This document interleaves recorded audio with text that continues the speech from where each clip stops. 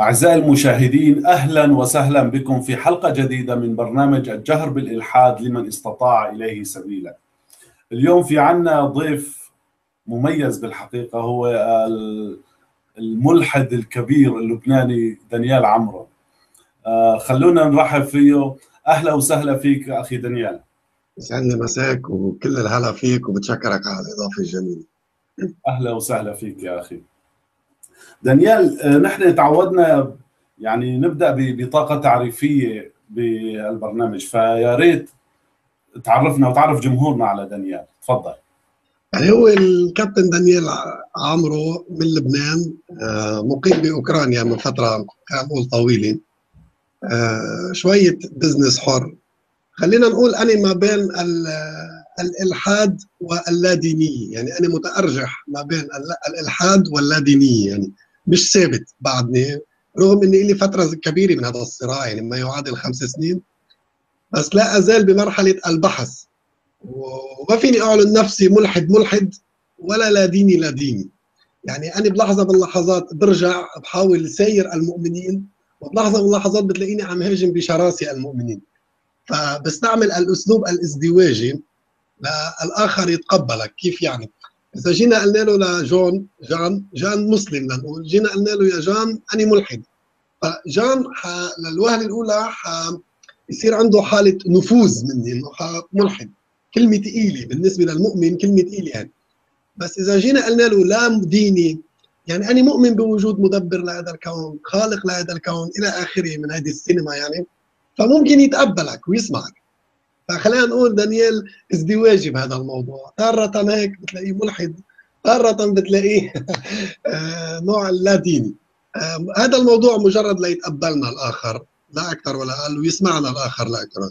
شخصية عادية موجودة بالمجتمع تشتغل بتأكل بتشرب لأنه الناس يمكن مفكرين الملحد مثل ما أنت ذكرت بأحد حلقاتك أنه مخلوق فضائي.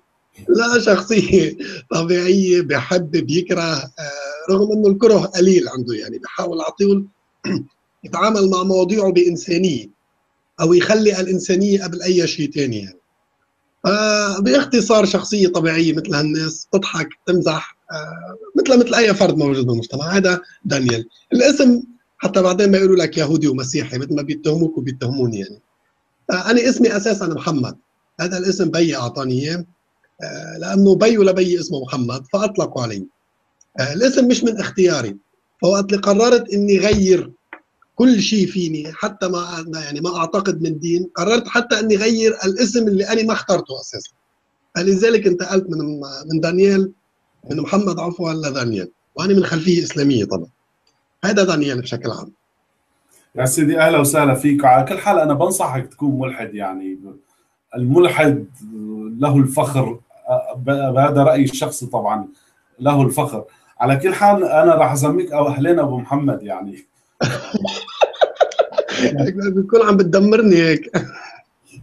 بس عم بمزح آه، طيب دانيال إذا يعني هيك تحدثنا يعني عن عن قصة آه، انتقالك من الإيمان خلينا نقول للادينيه أو الالحاد مثل ما وصفتها أنت يعني.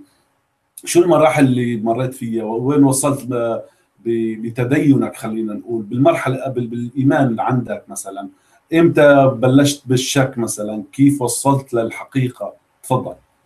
بشكل عام كل متدين بشكل عام يعني كل متدين عنده يعني عنده حجم من المعرفة وكمية من المعرفة الدينية اللي بياخذها عن بيه عن أمه عن أخته عن خيه من مجتمعه. إذا الأب والأم ما علموا ابناء أبنائهم على الدين كفيل المجتمع يعلمهم الصداقة تعلمهم الرفقاء يعلمون فإذا ولد طفل ببيت مسلم إنما أهل أصحاب البيت الأهل ما علموا الابن كفيل بس يخرج إلى المدرسة إلى الشارع إذا كان مجتمعه إسلامي يتلقى هذا العلم أو إذا كان مسيحي يتلقى هذا العلم أو إذا كان يهودي. وحتى إذا كان مجتمعه ملحد فأكيد الطفل حيربى على أفكار الحاديه آه، الدين بشكل عام تلقيناه من أهلنا. بيي أمي. وبوجه تحية كثير كبيرة يعني. هدول أعز ما أملك بالدنيا بشكل عام. آه الكره الأرضية يعني. الدنيا الكره الأرضية. نحن وقت بنستعمل مصطلحات دينية مثلا تبع عم بتقول لي آه صار كذا بالمنطقة الفلانية. بقول لك والله مش معناتها أني مؤمن بالله. هذه كلمة درجت على لساننا. نتيجة نحن وصغار عم نستعملها يعني. فبيقول لك لك كيف ملحد بقول والله؟ قال بيصطادوا لك كلمات. يا أخي ما نحن 50 60 سنة كم شيء هالكلمة على لساننا آه، بيتنا بشكل عام يعني الوالد كان يعني بمرحلة الطفولة الصغر يقعد يحكي لنا يشرح لنا الأنبياء الكذا الكذا. بس كان هذا الرجل بشكل عام دائما منفتح. وأنت حر. بنظره أنت حر اعمل اللي بدك إياه أو آمن بما تشاء. بشرط ما تأذي الآخرين. مبداه كان هيك. يعني حتى بمرحلة من المراحل كان عنده جملة شهيرة يعني وبشكره عليها لأنه هو أعطاك أفق إنك تنطلق أكثر أو تبحث أكثر يعني. بمرحلة من المراحل بذكره بيقول لي يعني روح حب وحدة آه، لا عندها بيت لا عندها أهل لا عندها ما عندها حدا يعني وحدة وتكون بتشتغل بال, بال يعني سوري على التعبير بالبارات بالكباريهات أنا مستعد زوجك إياها إذا هاي من اختيارك. فهذا الرجل كان يحترم آه، يحترم حريتك. فمن هون أنا ربيت عندي شيء من نوع من الحرية الكلامية. آه، بحكي اللي بدي إياه ما بهاب حدا ضمن الاحترام والاخلاق طبعا. آه، بطرح أفكاري وآخر همي كل الناس. تزعل يعني هذا القرى الأرضية كلها يزعل أهلها بس بشرط ما يزعل الشخص اللي أعطاني هذه الحرية ألا وهو بي. هذا كثير مهم عندي. يعني. حتى فيديوهاتي أطروحاتي بعرضها عليه بقول له مثلا بابا شفت هالموضوع اللي قدمته أنا مثلا؟ فبصير في نوع من النقاش بيني وبينه إنه جيد بس هون ما كان لازم تحكي هيك. هون تقلت شوي هون شتمت هون شخصت هون كذا هون كذا. بالنهاية هو مسلم وهو مؤمن وكلامي يمكن بيجرحه إنما عم يتقبلوا من باب الحرية والنقد. نحن جان نحن مش أعداء مع حدا ونحن مش حملة سيف. ولا حملة ام 16 وكلاشن. نحن حملة قلم نستعمل هذا القلم ونطرح أفكارنا على الناس. فأنت المفروض ترد على فكري بقلم مش ترد على فكري بصاروخ ولا بقذيفه ولا بشتيم. وهذا اللي عم نواجهه حاليا مع المؤمنين بشكل قاتل يعني. إنه بتلاقي عم بطرح لك فكرة أنا عم أقول لك النبي قال هيك هيك هيك شو هالنبي هذا؟ فتطلع أنت بتقول لي أمك ستك جدك اللي عملك. ليه؟ رد علي رد علي إنه معقول أنت نبيك عمل واحد رد علي بفكر ما ترد علي بسوقية وبشتم. أنا خرجت من الإسلام ذهبت إلى المسيحية. هذا باختصار يعني. ف يعني طلعت من الإسلام ورحت اشتريت الإنجيل يعني هي موجود عندي هلا هون فيني يعني نعرضه يعني حتى ما حدا يتهمنا بالنفاق. يعني رحت اشتريته للإنجيل وبدأت بقراءة هذا الكتاب. فاكتشفت إنه أنا أمام كتاب ضعيف. ضعيف. لأنك أنت جاي من مدرسة إسلامية فيها فلسفة ومنطق ومشعبه وطوائف ومذاهب. فاكتشفت بالإنجيل إنه في ضعف. هذا الضعف ما عم يعطيني الحاجة اللي أنا عم بطلبها. يعني أنا بدي بدي إله يعني تتصف فيه صفة الإله. مش إله تشبه بإنسان وبعدين في روح قدس وثلاثة بواحد. كان في دعاية قديمة بسوريا بما إنك أنت بسوريا بتعرفها. آه، دعايه لدواء الغسيل. ثلاثة بواحد إذا ذكرها هذه الدعايه فالله هو الإبن والإبن هو الروح بس هني مش واحد بس هني لاهوت وناسوت هو بالانجليزي في بيقولوا buy 1 get 1 free إيه إيه يعني buy 1 get 2 free بالضبط برافو يعني الوقت. فهربت من المسيحية رحت إلى اليهودية. قلت لربما هول الجماعة هن الأصل والأساس لربما عندهم هيك فاشترينا كتاب اسمه التوراه وهو كتاب رسوم متحركة طبعا. قل أعوذ برب الفلق. وصدق يعني هو العهد القديم. وصدق إذا بقول لك إني حافظوا هذا الكتاب. يعني قرأت هذا الكتاب صار عندي ملكة الحفظ في قد ما قرأت فيه. يعني مستعد لك رقم السفر تاريخ السفر يعني كله مستعد الاي يعني. فاكتشفت إني أمام كتاب كاريكاتوري يعني الله ركب على ناس وناس ركبت على الله والله نزل ضربهم واشعيا رمى سهم قتل 300 زلمة. لك شو هالإيد اللي كانت على إشعيا مثلا؟ يعني مدفعية هذا. عرفتني؟ واه بدنا نضحك وسليمان تزوج 700 مرأة. بالحلقة الماضية قلت أنا يا عمي شو الفياجرا كان عم ياخذها سليمان؟ قالوا لنا عنها يعني. قال بيقول لك هو تزوجهم. بيجي التأويل جان بيجي التأويل بيقول لك هو تزوجهم. بس هو دخل عليهم كلهم. إذا ما دخل عليهم كلهم ارتكب حرام بحسب الشرائع اليهودية والمسيحية والإسلامية. أعطاك المراه حقها لا أو تزوجوا الله يخلصهم. طب ما مارس معهم الفاحشة. كان المفروض يمارس معهم الفاحشة ويعطيهم على حدود الشرعية. فاكتشفت إنه هيدي الكتب تعاني من مشاكل بالتعاطي مع الإنسان. هيدي الكتب فيها مشاكل بالتعاطي مع الإنسان. فاخترت إني أؤمن بوجود مدبر خالق لهذا الكون. بس لأنه اله القرآن لأنه اله الإنجيل ولأنه اله التوراة. فوقفت بين الالحاد واللادينيين والربوبيين بتبرجح بين هولي. بستعمل الأسلوب اللي هلأ عم نحكي فيه هو اللاديني. حتى الآخر ما ينفر منك يسمعك. شو عندك؟ يسمع. وبلحظة ما الاقيه إنه هذا جاي يهاجمني بستعمل الأسلوب الالحادي معه انت بشو جاي تهاجم؟ يعني بيجيك شخص جان بيقول لك بدي أعمل مناظرة معك. فأنا على طول بستشهد بجملة. بقول له بدك تناظرني على تشريع قتلي؟ يعني انت جاي بدك تناظرني بتشريع قتلي؟ بقى انت هادر دمي. بشو جاي تناظرني؟ عرفت كيف؟ أو مثلا بشوف عدنان إبراهيم عليه السلام هذا من الإسلاميين المصلحين بيطلع بيقول لك مطرقة الإلحاد والبرهان. يا حبيبي أنت كيف عم توجه كلامك لأناس؟ أنت هادر دمهم أساسا. هاي ناس مهدورة الدم. كيف أنت جاي تواجهها بالفكر أو جاي تحكي معها؟ ما أنت خلص بايح دمها فهيدي رحلتي معلي طولت شوي من لا لا بصراحة أنا بدي أسمع أكثر يعني. بدي يعني بدي إياها تفصيلي هيك. اذا إذا ما وراك شغل يعني. لا ما ورانا شيء ما ورانا المؤمنين. نحكي عنهم اليوم. على كل حال يعني مثل ما قلت أنت دانيال نحن منا أعداء لحدا. نحن منا أعداء. وأنا قلت أكثر من مرة إنه اللي عم نحكي معهم هالمؤمنين هن أهلنا وناسنا وجيراننا. ويعني أنا طلعت من من خلفية إسلامية بحتة يعني سلفية تقول إلى أبعد الحدود يعني. نعم. فنحن عم نحاكي أهلنا عم بحاكي أخوي وأختي وابن عمي وأولاد خالي وأولاد حارتي إنه نحن بدنا بدنا مصلحتكم بدنا ننشلكم من هال من هالوضع الانحطاط الموجود هذا هالحروب اللي دمرتنا وقتلتنا. يعني وسلاحنا بهذا هذا هو القلم. ليس أكثر من القلم سلاحنا. ما شايلين سيف على حدا ولا بدنا نقتل حدا. بس وهذا سلاحنا وفيه لازم نفتح لكم العقول. يعني هي هي هي رسالتنا. ونحن لو يعني ليش عم نعذب حالنا ونبرك نحكي ومثلا دانيال يفضي وقته وأنا أفضي وقتي ونبرك نحكي. لا ورانا مصالح لازم نقضيها كمان. بس نحن عم نساوي هيك مشانكم يا أهلنا يا ناسنا. تفضل أخي إذا في عندك تعقيب. لا كلامك 100% سليم ودقيق وصحيح يعني. ما في تعليق ابدا عليه. نحن بالنهاية عم نحاول يعني وقت اللي عم نحكي أو عم نهاجم عم نحاول نطلع هيدي الناس من سياسة قتل القتل بعض البعض يعني.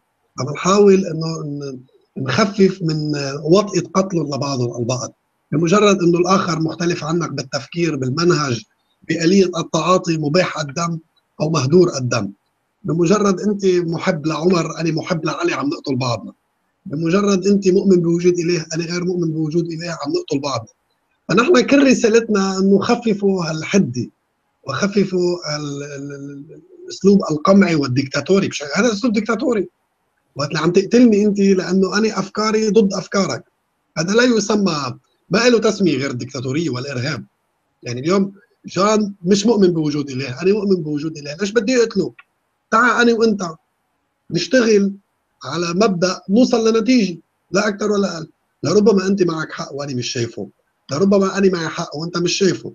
تختلف وجهات النظر من حسب المنظور يعني من وين أنت عم تطلع تختلف وجهات النظر بين يعني انت بتكون عم بتشوف من زاوية شكل رقم سبعة. أنا من فوق عم شوفه رقم ثمانية. فالمف... فنحن هدفنا إنه نلتقي بنقطة محددة نتفق. وقفوا قتل وقفوا إجرام وقفوا سفك وقفوا الله أكبر فجر حلق بالأطفال وبالنساء وبالشيوخ حتى بالرجال يعني. إنه دائما نحن بنستعمل مصطلح النساء والأطفال والشيوخ. لا حتى الرجال شو مش حرام. بشر يعني. بشر إنسان بالنهاية هذا الموضوع للكل انه وقفوا هدر دم الإنسان هذا إنسان. شو ما كان شو ما اختلف معك شو ما قال لك شو ما قلت له إنسان. إنسان. اليوم بلبنان مثلا. اليوم كنا أنا تحت الهواء عم نحكي فأنا نسيت شغلة خليني أضيفها هلأ. لبنان اليوم مش مثل عشر سنين قبل. لبنان اليوم مش مثل عشر سنين قبل. لبنان اليوم في نوع من التشدد الطائفي. بالأول الناس نحن عندنا حروب طائفية بلبنان يعني ب 82 ب 87 في مرق البلد بتقلبات طائفية. آه، بس ما فيها العنصرية الموجودة اليوم بالبلد. يعني نجحوا للرجال الدين بإنه وضعوا جدار بين يعني منطقة ومنطقة أخرى. هذه المنطقة مسيحية هذه المنطقة شيعية هذه المنطقة سنية هذه المنطقة درزية. نجحوا إنه إذا أنا بدي أطلع على جبل لبنان لازم يكون عندي صديق درزي بجبل لبنان لأطلع بأمان. إنه إذا صار معي مشكل فوق أقول له لهذا الصديق. نجحوا إذا أنا بدي أنزل على الضاحية. يعني زرعوا بروباغندا إعلامية خوفت الناس. يعني بعرف ناس من بيروت. ضاحيه بيروت بعيدة عن بيروت 10 دقائق بالكار يعني بالسيارة. Yeah. نجحوا إنه يخلوك كأبن بيروت تخاف تفوت على الضاحية. صوروا لك إنه الضاحية عبارة عن سكنة بيقتلوا لا الضاحيه ما أنا كنت عايش بالضاحية. الضاحية ناس مثلنا مثلهم بس بيحبوا تنظيم معين. بيروت ناس مثلهم مثل الموجودين بالضاحية بس بيحبوا تنظيم آخر. بس نجحت البروباغندا الدينية. ان تفرق هيدي الناس شعب واحد شعب واحد. نجحوا إنه يدمروا لهذا المجتمع هذا الدين هذا الدين. سخر لتدمير مجتمع متماسك مترابط. لعنوا أخطر هذا المجتمع. حولوه لمجتمع بيكره بعضه. الشيعي بس يسمع بالسني أوه سني بديش يتعاطى معه. حيوصل لمرحلة ما بيسلموا على بعض بالإيد ما بيجوز. فهمت علي؟ يعني هيدا هيدا هيدا هيدا يعني تعقيب على اللي مرق تحت الهواء اللي كنا عم نتسير فيه يعني. هذه آه هي صديقة هذه هي الحقيقة اللي عم بتصير فينا. يعني نحن عم نحاول إنه وقفوا قتل لبعض لا أكثر ولا أقل. اعملوا اللي بدكم اياه اختلفوا بالأفكار آه اختلفوا بالأطروحات بس وقفوا قتل وقفوا القتل الدم وقفوه بس. للأسف. للأسف. يا ريت وأنا بضم صوتي لصوتك يعني وقف القتل. وبتلاحظ يعني في في ناس بيقول لك تعال احترم معتقدي ولازم تحترم معتقدي اللي بأمرني بقتلك. يعني شر البلية ما يضحك بصراحة. إنه كيف بدك اياني أحترم معتقداتك اللي بتأمر تامرك بقتلي وبتساويني حمار بتساويني يعني بأبشع الكلمات. فأنا قلت لك أستاذ جان قلت لك بداية الحديث بيجي بيقول لي بدك تناظرني. يعني من فترة في شيخ من الأزهر على التليفون كان الكلام يعني وعندي المحادثة مسجلة. بيقول لي دانيال بدي أتناظر أنا وياك أنت عم تعمل قلت له أنا بعمل فتنة قالت له أنت كيف بدك تناظر إنسان أنت هادر دمه؟ يعني هل أنا وياك بدها تكون عنوان المناظرة الدفاع عن دم دانيال يعني أنا بدي أكون عم دافع عن حالي مقابل فتوى قتلك لإلي؟ قال أي فتوى؟ قلت له الردة ما أنا كنت مسلم. وخرجت من ربه لهذا الدين ما عدتش مؤمن فيه لهذا الدين. فهل أنا وياك بدنا نتناظر على إنه ما تقتلني ولا على شو بدنا نتناظر؟ قال عن الإسلام. قلت له كيف بدك تناظرني بشريعة بايحة دمي؟ أنا عدو صرت لهذه الشريعة خلص. يعني لا أنت لا أفكارك لا مناظرتك فيني أتقبلها. أنت جار أنت بدك تقعد مع إنسان إذا شافك بالشارع بده يقتلك بده يقعد يتناقش وياك. ناقشني بموضوع قتلي بعدين بنحكي بالموضوع الثاني ناقشني انت ليش؟ هدرت دمي وبدك تقتلني. بعدين بنفوت بالموضوع الثاني هلأ في المسلمين الكيوت هدول الناعمين كثير يعني زيادة عن اللزوم. بيقول لك ما في الردة بالإسلام. بحسهم مجانين أنا هون أو أو غير مطلعين. يا حبيبي في حرب طويلة عريضة بعد موت محمد نبي المسلمين. في حرب طويلة عريضة اسمها حرب الرده ودامت لسنوات. حروب حروب الرده وفي في معركة واحدة منهم 20000 قتيل. أنا بعطيك المصدر. كيف ما في إلها. لليوم السعودية بتقيم حد الردة وبالمقابل إذا بدناش نحكي على السنة وإيران بتقيم حد الردة. يعني إذا عم نحكي على السنة والشيعة الدولة الشيعية الإسلامية والدولة السنية الإسلامية. اثنين بقيموا حد الردة وفي قصة مشهورة فيك تحطها قصة القص حط بس على جوجل شوف بيطلع لك. أعدمته إيران. كان مسلم تحول للمسيحية وعمل قص راهب يعني. قاموا قتلوه. أعدموه ضمن حرب الردة. وكثير كثير من الأمور. شو هي حرب الردة جان؟ حرب الردة هي إرهاب أنت ليش خايفان؟ إذا واحد خرج من دينك ليش تقتله؟ من شو أنت من شو خايفان؟ يخرج عمره ما يرجع أنت ليش خايفان؟ قال بيقول لك حتى ما يكون السبب بخروج الآخرين ويخرجوا الآخرين لو أنك سليم وبس منك ضعيف يعني لو إنه إجراك خلينا نحكي بالمشابره واقع على الأرض ما حدا بيخرج من عندك بس أنت ضعيف شركتك المؤسسة الدينية ضعيفة لذلك في موظف أو منتسب لهذه الشركة خرج من هذه الشركة راح لشركة ثانية أو راح لبلا الشركات كلها كفر بالشركات عمل ملحد. فأنت ليش خايف؟ أنت ليش خايف؟ ليش عم تقتله تحت عنوان الردي قمع وإرهاب قمع وإرهاب بكل بساطة. أنت إرهابي. أظن ما في غير المافيا بتعمل هيك. شغل بقى لا حتى حتى المافيات الحديثة تطورت المافيات الحديثة تطورت هلا مثلا. نسمع بالمافيا الإيطالية قديما. كانوا يقتلوا يظهرنا هذا الموضوع ما في من حتى المافيات تطورت. وهديك الناس بعدها عايشة تحت حكم عمره 1400 سنة. قال لهم فلان اللي بيظهر من الدين. شعطوه يعني. عملوا له السليمي أخي دانيال برأيك شو أهمية الإنسان إنه خصوصي نحن هلا في في في وضعنا الحالي يعني شو أهمية إنه نجهر بإلحادنا؟ يعني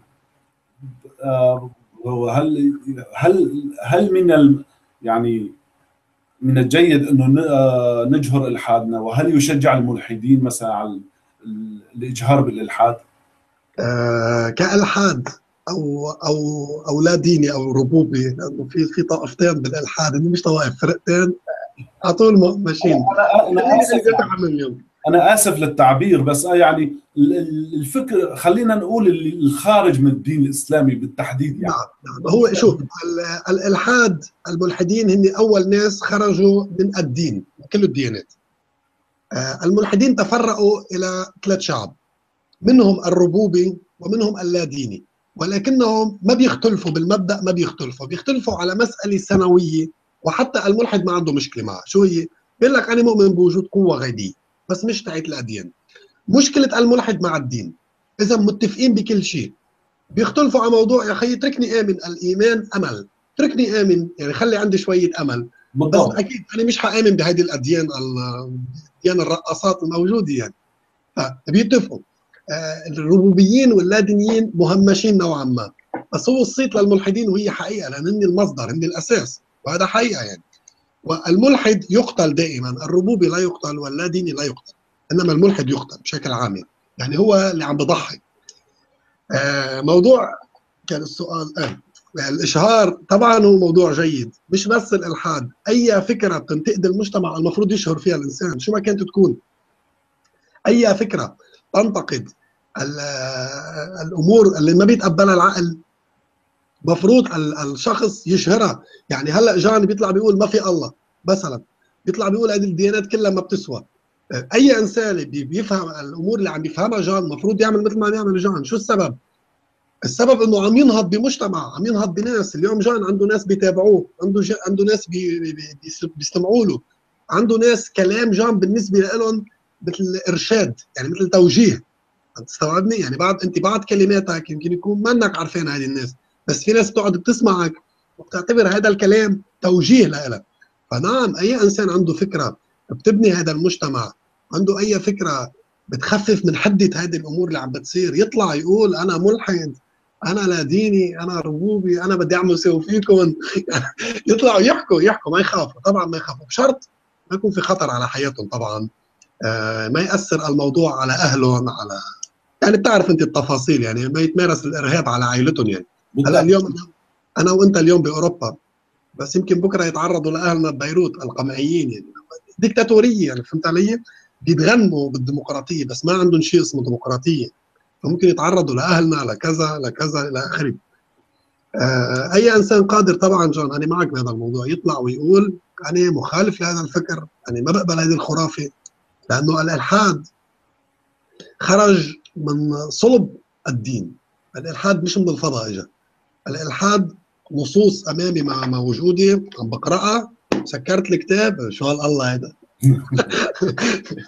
صحيح بالضبط يعني نحن ما بنريد إنه تجهر إلحادك تعرض حالك للخطر يعني. نحن بنريد تجهر إلحادك بقدر المستطاع يعني. من استطاع إليه سبيلا نحن لا. يعني ما تحط حالك بخطر أو تحط ناس غيرك بخطر أهلك ولا من يكون يعني. دانيال بنتقل لموضوعنا المعنون يعني بالحلقة. كيف بدأت علاقة البشر مع الله؟ ولماذا نشأت هذه العلاقة بالأساس؟ وهل ترى نهاية لهذه العلاقة قريبة كانت أو بعيدة؟ تفضل. هذا الموضوع شوي حياخذ وقت. خذ راحتك. الوقت كله أمامنا يعني. ما في عنا أي مشكلة. شكرا. يحتاج إلى شرح شوي كيف بدي أقول لك؟ شرح يعني مقدمات لنفوت بصلبه لهذا الموضوع أو بأساسيات هذا الموضوع. الانسان ما تبدا أنا راح أسوي لي ارجيله لحالي وأستمع. ماشي. تفضل. الإنسان بشكل عام آه، أول ما بدأ هذا المخلوق هذا الكائن هذا الموجود هذا المصنوع قبل تطور من قبل إلى آخره عشان ما نختلف نختلف مع الناس. هذا الإنسان آه لم يخترع شيء. هذا الإنسان لم يخترع شيء بالمرحلة الأولى بل اكتشف اكتشف. بدأ برحلة الوعي ألا وهي رحلة المعرفة. يعني بدأ تحول من لا عاقل إلى عاقل من مخلوق أو كائن. لا يملك عقل إلى كائن يملك عقل. وحس على التمييز. وحس على التقدم وحس على التطور. هذا الكائن. الإنسان لم يخترع النار. الإنسان لم يخترع النار بل شاهد النار. كيف؟ وقت اللي كان تضرب صاعقة الأرض وتولع نار بالغابات فاكتشف الإنسان النار. شاهد النار عفوا فاكتشفها. آه هي كمرحله أولى من تطور هذا الكائن. هيدي النار اللي ولعت بالغابات حرقت الحيوانات الموجودة بقلب الغابات. فاجى الإنسان وأكل من هذا الحيوان اللي انشوى خلينا نقول انشوى. فاكتشف الشواء. انتقل من مرحلة يأكل لحم ني اللي هو لحم الحيوان الني إلى مرحلة طهي الحيوان. عم نحكي نحن عن المرحله التطورية للإنسان. هي مهمة بمرحلة معرفة الله أو رب هذا الإنسان. تفهم علي؟ يعني كيف نشأ مع الإنسان. بعدين راح الإنسان لأبعد من هيك. صار بده يعرف الكيفية. كيف يعني الكيفية؟ هو شاهد النار والنار صنعتها الطبيعة. إنما الإنسان بتطوره وتطور عقله صار بده يعرف كيف تصنع النار. فبدأ بالبحث عن الكيفية بصنع هذه النار. فبدات مرحلة تطور الإنسان. واللي بعدهم لهلأ في ناس بيقولوا التطور غير حقيقة والتطور ما بعرف شو. هدول ما بعرف بأي صحراء عايشين يعني. بعضهم لهلأ بيقول لك التطور كذبة والتطور أسطورة إلى آخره. يعني بردش عليهم عادة. يعني حتى بالمجموعة عندنا بحضرهم راسا يعني. مش فاضي لهدول اللي قاعد اللي بصحراء السعودية. ما بعرف بأي صحراء قاعد وجاي بده يرد علينا يعني. التطور غير حقيقي الدليل القوي على التطور بأنه العقل الإنساني بس نقول عقل ما في شيء اسمه عقل. العقل هو وصف للدماغ والنخاع الشوكي وإلى آخره. فبيجي بيقول لك أنت شفت عقلك يا جاهل. العقل هي كلمة جامعة لثلاث أدوات. الدماغ والنخاع الشوكي والإحساس شبكة الأعصاب. فبنسميها العقل. بيجي بيقول لك أنت شفت عقلك. يا حبيبي هذا وصف. العقل هو الدماغ والنخاع الشوكي وشبكة الأعصاب وخلص أنت شفت عقلك. في تخلف ببعض الأطروحات اللي بيطرحوا. العقل البشري من 2000 سنة مش هو نفسه الموجود اليوم. تطور. والدليل العقل البشري اليوم اخترع الكمبيوتر الاتصالات. من 2000 سنة ما كان في هذه القدرة. فأثناء مرحله تطوره لهذا الإنسان واجه مشاكل هذا الإنسان. ألا وهي اللا جواب لا جواب في أمور وقف قدامها حاير هذا الإنسان. شو بيسبب البرق؟ ما عنده جواب. ما عنده القدرة انه يصعد للسماء بمراكب بكذا بطيارات ويكتشف إنه هو عبارة عن غيوم تتصادم مع بعضها بتولد لك البرق. فأعتبر إنه البرق هو إله. وبدأ خوفا من هيدا الشيء اللي هو مجهول. الإنسان يهاب المجهول. وخوفا من هذا المجهول عبد البرق. فاكتشف البرق مع مرور الوقت. فسقط هذا الإله. فسقط هذا الإله. فراح الإنسان عباده شيء آخر ألا وهو الشمس. يعني أنت هلأ تخيل جان تسمع إنه في ناس بتعبد الشمس. شو ما كنت تكون؟ مؤمن ملحد كافر مجنون حتقول شو هالهبل هون؟ بعد في ناس بتعبد الشمس ما خلص. فهمت علي؟ فراح الإنسان بما أنه الشمس غير مفهومة عنده والشمس كانت عم بتمده بالطاقة بالحياة بالحرارة بالدفء عبد الشمس باعتبارها أنه هي مصدر حياته وهي إلهه. سقط هذا الإله راح لعبادة القمر. وفي حادثة مع إبراهيم نبي المسلمين بالقرآن. آه عبد الشمس عبد القمر قال لهم إني لا أحب الأفلين. يعني فلت الشمس قال لهم أنا بدي الله على طول ثابت ما بدي يروح ويجي هذا الله يعني. طرح سخيف شوي يعني طرح اليوم العقل ما بيقبله. بس إنه بوقتها مثلا كان في حديث عم يشتغل هيك كان عم يدور على إله ثابت. فوصلت البشرية لمرحلة التطور العقلي. فحطمت كل هديك الآلهة وأخذت الإله الخفي الذي لا يرى. لأن الإله الذي يرى ينال منه. إذا جينا اخترعنا صنم وقلنا لك هذا الله فيك ببساطة تدعوسوا لهذا الله يعني. بتكبه بينكسر. بتقول لهم كيف الله مش قادر يدافع عن نفسه؟ فهمت علي؟ بتسقط لهم هيبة أو قداسه هذا الإله. فلجأوا لشيء اسمه الإله الخفي الذي لا يرى. لجأت البشرية لهذا الإله لأنه أمتن وأقوى وأنجح. ما فيك تشوفه. طب وين هو؟ موجود. الإنسان حب إنه يكون الإله دائما قريب منه قام صنع الإله بشكل هيك صغير بحطه بقلب بيته بحطه حد منه. وكل الديانات جان إجت بنفس المبدأ. شو بيقول لك؟ هو أقرب إليك من حبل الوريد. وقت اللي قالوا له لمحمد إنه إلهنا بضل بلزقنا فينا نحطه بجيبتي لاله عم شو قال له محمد؟ الله تعالى أقرب إليك من حبل الوريد. يعني هو بقلبك موجود بداخلك. يعني أسلوب قناعه عم يقنع بهذا الإله. فهيك نشأ الإله مع الإنسان. نشأ اثناء رحلة بحثه. واكتشف هذا الإله عندما كان يوجد لا جواب. ما في جواب. ما في جواب. ما في جواب. هذا إله هذا إله. لذلك تعددت الآلهة جون. إذا بترجع للتاريخ جون. إذا بترجع للتاريخ إله البرق إله الرعد إله الشتاء إله البحر. كل شيء قوي ومدمر وغيبي. يعني عفوا ما في جواب على معرفته شو هذا. كانوا يعتبروه إله. والدليل بالحروبات قديما اللي كانوا يشنوها ضد بعضها كانوا يعتبروا انتصار إله على إله آخر. يعني نحن أنا بعبد إله البرق أنت بتعبد إله النار. فقمت أنا شنيت حرب عليك انتصرت عليك على قبيلتك على مدينتك. يعتبر إله البرق تعولي انتصر على إلهك. وقتلوا لهذا الإله. لذلك واجب إنه يزاح الإله تعولك من المعادلة. ويزاح من معادلة عبد كان الفكر الإنساني هيك كان البشر هيك بسيطين بالتفكير. ف واذا بنراقب أنه كل مدعي النبوه أو اللي إجوا عم بيقولوا ما إجوا واجهوا الملحدين إجوا واجهوا عبدة الثابت راقب الأنبياء مين قاتلوا؟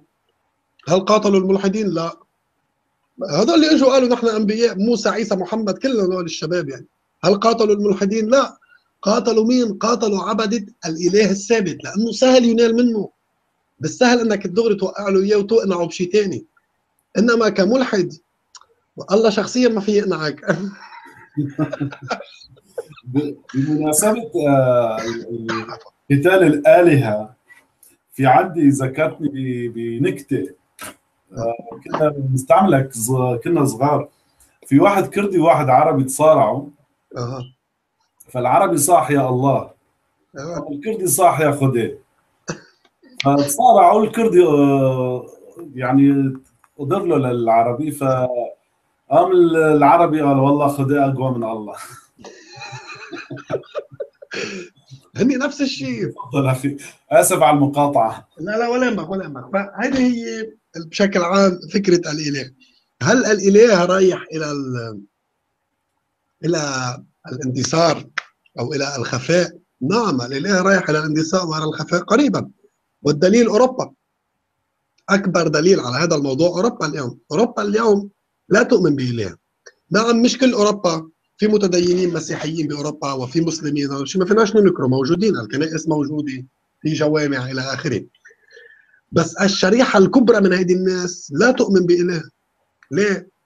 لأنه العلم أعطاها اجوبه العلم أعطاها اجوبه والعلم اليوم يتناقض مع الإله. العلم يعترض مع الإله. في أمور هذه الآلهة المذكورة بالكتب أو الإله المذكور بالكتب لا يتفق مع العلم وأي شيء يعترض مع العلم يسقط اوتوماتيكيا.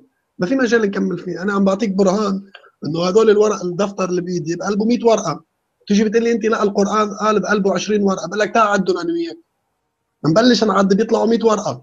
فأمام العلم وهو العدد يعني العد 1 2 3 4 1 2 3 4 1 2 3 إلى آخره. آه، هو العلم هذا. أسقط النص. اسقطوا النص بدليل بدليل. فنعم هذا الإله قريبا رايح على الاندثار هذا الإله قريبا بس أساسا بلش الإله اليوم يعاني من مشاكل. هذا الرب بلش اليوم عم بيعاني من مشاكل ومشاكل مدوية. لاحظ العالم العربي اليوم عم بيصرخ المد الالحادي القادم؟ هذا عدنان إبراهيم ما بتشوفه غير عم بيجعر. استيقظوا استيقظوا. أنا ما بحبه هذا كذاب. هذا إنسان كذاب يعني. هذا أنا بحترم إسلام البحيري أكثر من هذا الإسلام هذا الإنسان. ليه؟ إسلام البحيري كان عنده فكر. إسلام البحيري كان عنده فكر. اجى عم بيقول تعالوا نشوف خلونا نصلح. خلونا نصلح. أما عدنان إبراهيم كذاب. مصر على النصوص الموجودة عنده هذا الزلمة رغم إنه نصوصها ساقطة. وبيحاول يأول يأول الكلام. اللغة العربية لغة أفخاخ. أفخاخ كلها أفخاخ. يعني هلا جان بيقول شعر. هذا الشعر جان بيقصد فيه شيء بس أنا بفسره شيء ثاني اللغة العربية يعني جان ببيته الشعري عم بيقول شيء بس أنا بأوله للشعر بشيء آخر. فهمت علي كيف؟ التأويل كارثة هذيك يمكن عم نحكي بمسألة. بآية من الإنجيل بتقول مثلا النجوم تقع على الأرض. النجوم تقع على الأرض. يعني ما بعرف اللي كان عم يحكي بالنسبة له يعني النجوم شو هي؟ هل هي يعني حبات لوز صغيرة النجوم يعني أنا صرت ذاكرها أكثر من مرة يعني هل هي مثل حبة الدواء إنه هيك شايفها النجوم مش النجم النجوم تقع على شو بيجي التأويل الكنسي؟ شو بيقول التأويل الكنسي؟ المقصود بالنجوم المقصود بالنجوم يعني النيازك طب ليش ما قال النيازك؟ ليش عم بيقول النجوم؟ يعني عم بيقولوا الآية عم بيحاولوا يقولوا الآية بعد ما اكتشفنا إنه النجم قد الأرض بمليار مرة شو بيقولوا لك؟ المقصود بالنجوم يعني طب ليش ما قال النيازك؟ شو عم يشتغل فينا هذا الله تبعكم يعني؟ عم يتسلى معنا ساعة نجم ساعة بابا يقول نيزك بيقول لك لا ما الكلمة قديما كلمة نجم تعني نيزك. كذاب. لأنه قديما معروف إنه البشر استعملت النجوم كخرائط للذهاب من مكان إلى مكان وذكرت كلمة نجوم نجوم. النجم هو الجسم الثابت بالسماء لا يتحرك. تأويل حتى فاشل تأويل حتى مكشوف وبيجوا بدهم يقنعوك. إنه لا ما انت فهمان غلط انت ما عم تستوعب. في لاهوت يا حبيبي روح. صلي على النبي يا زلمة. بوصلك لمرحلة إنه بكفرك بنفسك. يا رجل أنا عم بطرح عليك مقارنة فكرية. أعمل لك كيت كيت كيت كيت. النجم كلمة نجوم تعني كذا وكلمة كذا تعني كذا. ما تجي تأول الكلام. وبرضه في ناس مؤمنة باللي هلا يعني ليك هلأ الموضوع مضحك. ما في مجال للنقاش فيه. كلمة نجم تعني الجسم الثابت بالسماء وخلص انتهينا أو بالكون. بدك تيجي تقول لي النجوم معناتها نيزك؟ هلا أنا طرحنا إيه من الإنجيل لأنها سهلة يعني. بس في كمان بالقرآن كثير أمور. اليوم السنة والشيعة عم يتقاتلوا وعم يذبحوا بعض. خلينا نتطرق على القديم بشكل سريع. نازلين تجزير ببعض. بيقول لك علي من بعد النبي هذاك بيقول لك لا أبو بكر من بعد النبي. عمر أحق من علي لا علي أحق من عمر. النبي أعطى الولاية الله نزل الولاية علي يا أخي يا حبيبي استيقظ شوي وفتح راسك شوي. ربك ذكر أبو لهب وأم لهب وذكر الكلاب وذكر الحمير وذكر الأنجاس وذكر الشياطين بس ما ذكر علي. ليش ما ذكروا؟ معقولة أمر مصيري عم نقتل بعضنا اليوم بسببه كمسلمين مثلا. ما ذكر؟ ما في له نص ثابت؟ يا أما اعترف إنه كتابك في شيء مش مزبوط عرفت كيف؟ يا أما روح تضبضب ما بقى جد بيقول لك لا ما الآية الفلانية بتقصد تأويل. التأويل. والتأويل ظهر بالعهد الأموي. هن أصحاب التأويل. الأمويين وقت اللي أخذوا الحكم. بدهم يثبتوا إجرائهم الجماعات فهمت علي؟ من فتوحات من غزوات من كذا. بلشوا يستعملوا هذا المبدأ التأويل. النص مش هيك حولوه لهيك. بس هو النص بالاساس بدناش نفوت بالتفاصيل يعني هو النص بالاساس ما في تعليق عليه يعني النص مصيبي. بس برضه ضافوا على المصيبه مصائب. تستوعبني؟ ضافوا على المصيبه مصائب. فهيدي مشكلة اليوم. أنا عم بطول بالكلام. هيدي مشكلة خذ راحتك يعني. حبيبي خليل.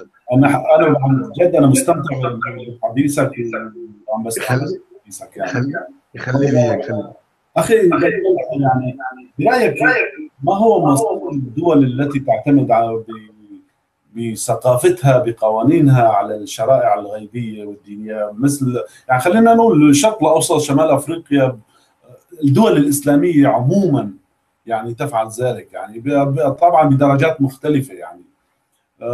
فبرأيك يعني ما هو مصيرها؟ يعني إلى أين؟ إلى أين نمشي؟ يعني شفنا سوريا والعراق لبنان الحروب اللي, اللي ما لا نهاية. فإلى أين نحن ذاهبون؟ تفضل. عم سجل السؤال هذا انقسم لقسمين مع السؤال. آه الدولة جان اللي بتعتمد على الدين دولة فاسدة. كيف يعني دولة فاسدة؟ مش بنقصد إنه آه، الحكام فاسدين. هذا موضوع بخص شعبه نحن ما لنا علاقة في هذا الموضوع.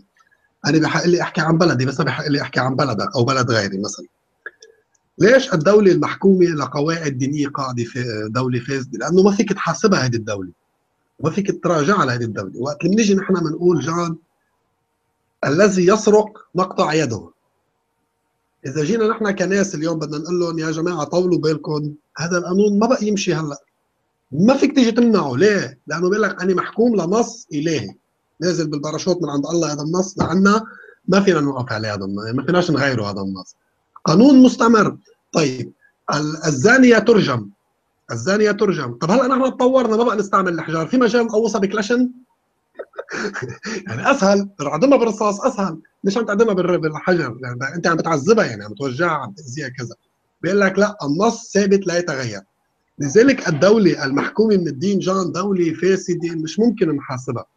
نحن لو رايحين؟ نحن مش رايحين على مطرح الدول المح... الشرق الأوسطية مش رايحة على مطرح رايحين يعني حننطلق لقدام.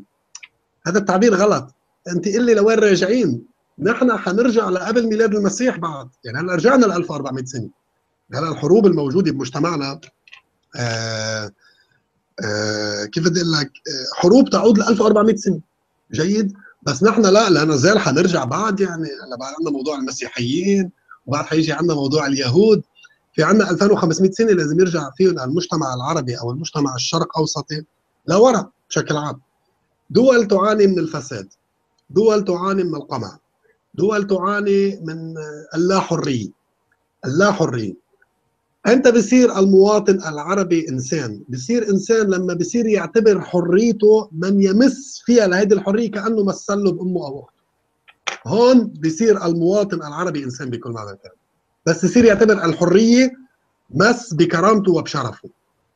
بما أنه حريته لا قيمة لها بما أنه بس يجي موعد الانتخابات بيشتروه ب 200 دولار وب 300 دولار للصوت تاعوله هيدا إنسان محكوم من من من زبالة البشر ومنه حاسس، إنسان لا تعني له شيء الحرية، العربي الحرية بالنسبة له لا شيء. أمه وأخته كلمة أختك سوري يعني التعبير أو أمك بس تسب له اياها وتشتم له اياها أهم من حريته أهم من حريته. بس تصير الحرية عنده يعني مثل كرامته وشرفه يرتقي هذا المجتمع.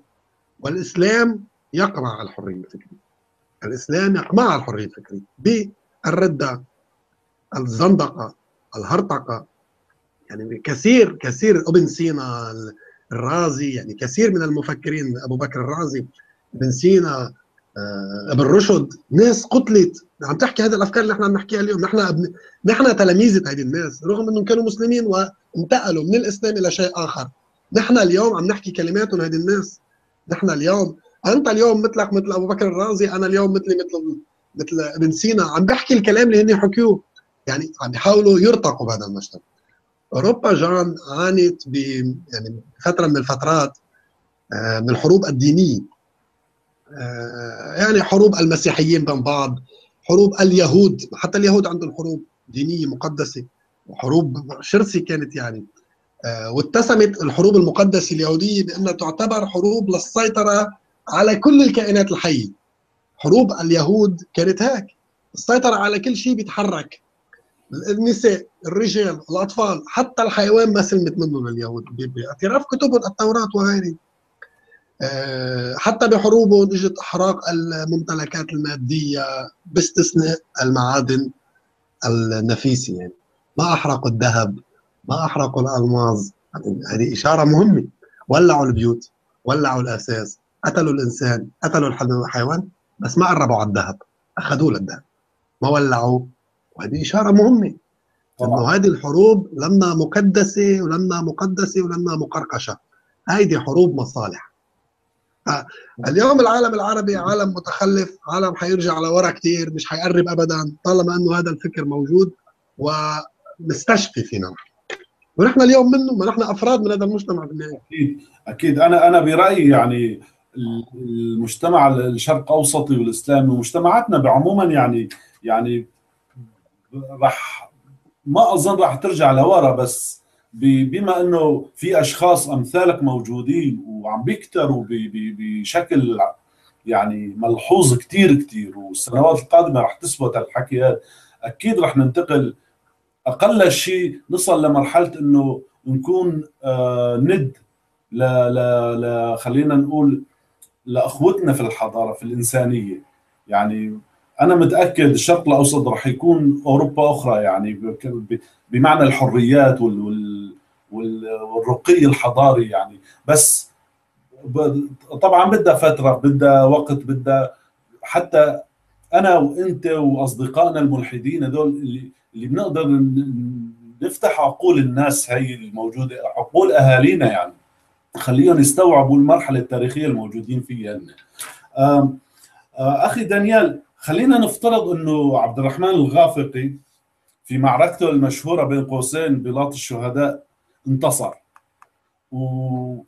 ودخل فرنسا ودخل من بعدها أوروبا وبتعرف إذا دخل بوقت أوروبا تقريبا سيطر على العالم القديم بكامله ويعني اوتوماتيكيا على العالم كامل يعني. فبرايك شو شو كان راح يكون شكل العالم اليوم؟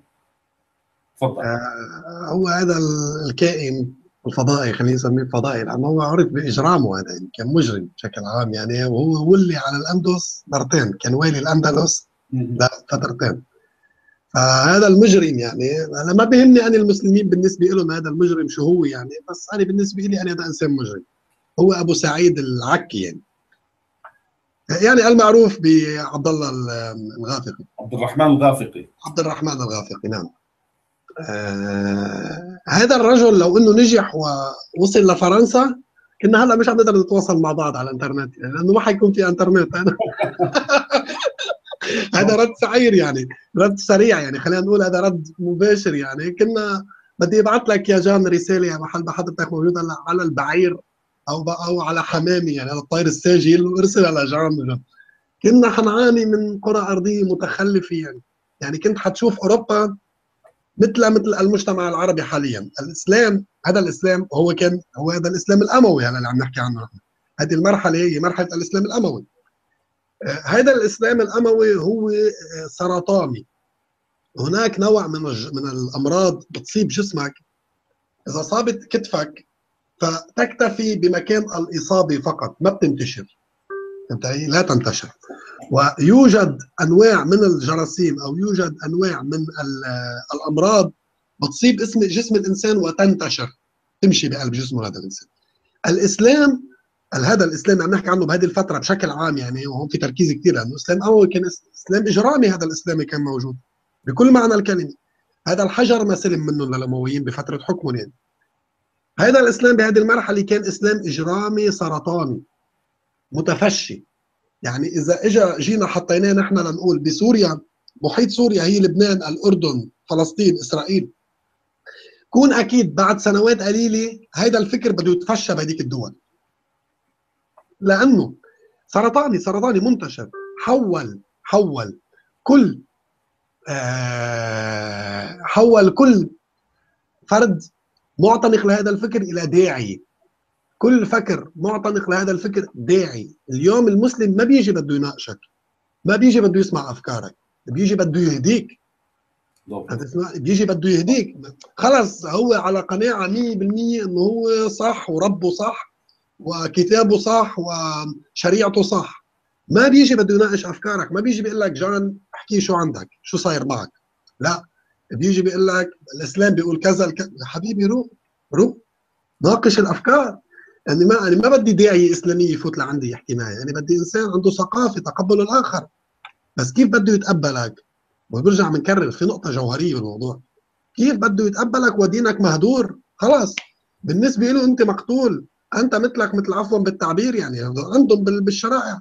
مثلك مثل الحمار اللي بيحمل اسفار والأسفار هي آيات إنجيلية. يعني شبهون حتى المسيحيين الإسلام. لك آه الإسلام أعلن الحرب على الدنيا كلها. على كل شيء. ما خلى شيء الإسلام أعلن الحرب عليه يعني. خصوصا هاي الأمويين يعني. إذا بتيجي بتقرأ تاريخهم للأمويين ولكن الحيوان ما سلم منهم يا رجل. الحيوان ما سلم منهم هذه البشر. أعلنوا الحرب على الدنيا كلها. الإنجيل محرف خلص. طب أنا جان أنت مسلم. كتابك القرآن.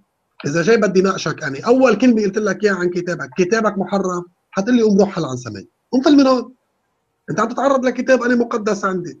فكيف أنت عم بتقول عن مليار بني آدم كتابهم محرف؟ وهذا مش كتاب الله. نسفهم راح لليهود. مسحوا الأرض باليهود المسلمين. عملوهم. في منهم كانوا خنازير. في فرقة من اليهود الله مسخهم في إيران. في فرقة ما شو أعلنوا الحرب على الدنيا كلها؟ ألغوا كل شيء. خلص هذا الفكر ألغى كل ما قبله. نحن وبس. فهمت طيب. ماشي يا أخي وافقنا معك الغي ما قبلك بما أنك أنت new version إصدار جديد إصدار متطور الإصدار الأخير تاعون الله. وافقنا معك. في مجال نحافظ على معتقدنا ونعيش. بيقول لك إيه في مجال بس في شرط. قال له شو هو الشرط؟ بيقول لك بتدفع جزيه أنت كمسيحي بدك تعيش بالدولة الإسلامية بدك تدفع جزيه طب ليش الجزية؟ بيقول لك أنا ما بديش اياك تروح على حرب ولا بدي اياك شيء بتعيش بالدولة بس تدفع جزية طب ليش عم بتدفعني جزية؟ ليه؟ تعرف ليش عم بتدفعني جزية؟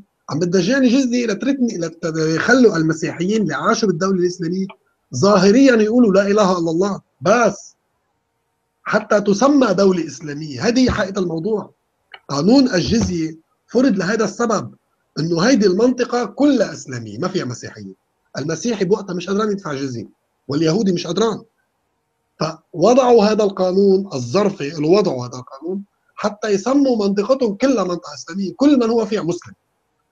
وكل من فيها لازم يروح للحرب وكل من فيها لازم يسبي وينكح. حجر بشر طير حيوان كله بينكح كل شيء بيتحرك ينكح. فهمت علي؟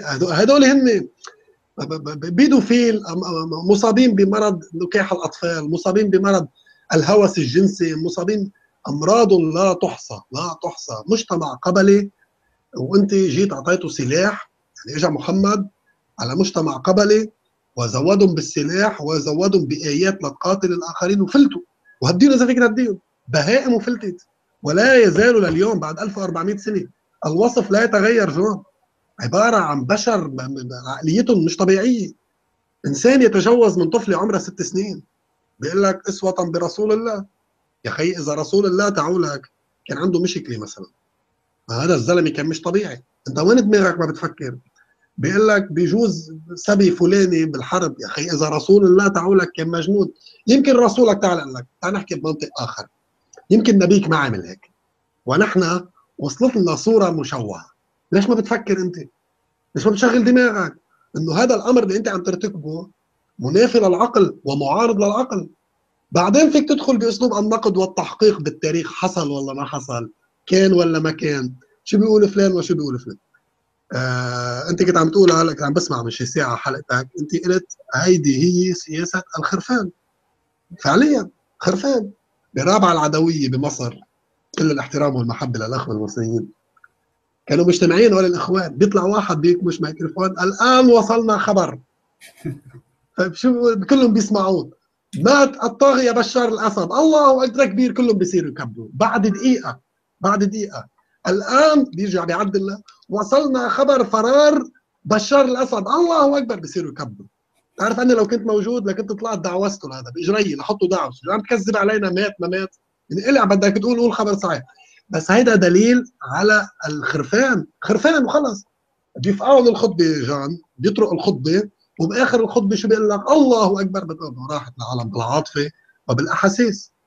سياسة مشهورة يعني سياسة معروفة. السيطرة على الأحاسيس. قتل فلان بمعركة فلانة حمل السيف وقتل سبعين منهم. وهو عم يحكيك برقق صوته وبتغرغر الدمعة بعيونه. وانت عم تسمع له يا ليتني كنت معه لهذا الإنسان لقاتل بطرف طب يا ابن الذين شوف هذا الإنسان ليش طلع هذا الإنسان شو عم يعمل شو تاريخه شو سيرته. العاطفه والتهييج. وعندهم شغلة حلوة. لكل قصة عندهم نشيد. هذا انتبه هذا الموضوع منه مسخرة وهذا الموضوع مش مزح. هذا الموضوع له خلفية. كل قصة عندهم لهم نشيد. إذا مات شهيد على الجبل بيطلع لك نشيد. أخي الذي مات على ذاك الجبل بيعملوا له نشيد.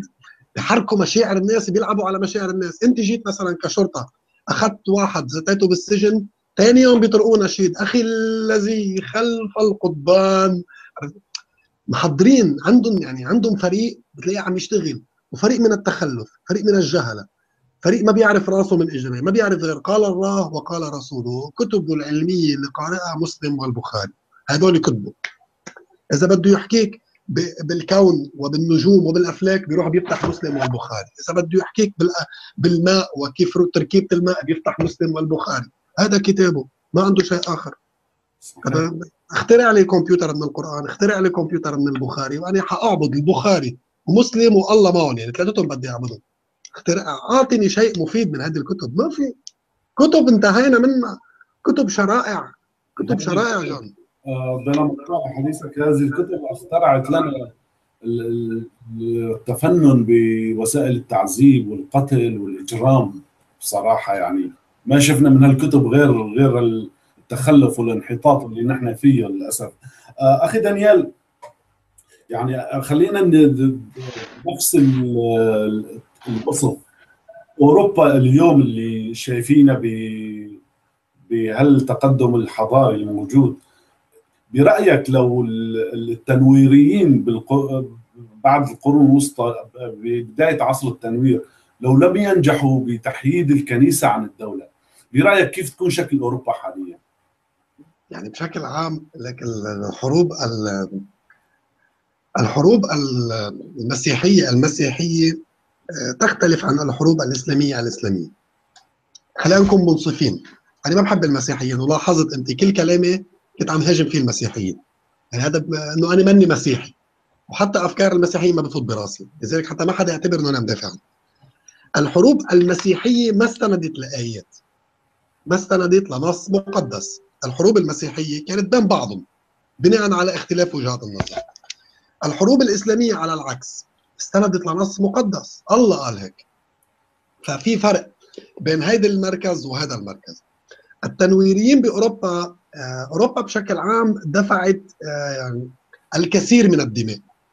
مليون يعني يعني شو بدي أقول لك؟ آه، ملايين الأشخاص سقطوا بهذه الحروب.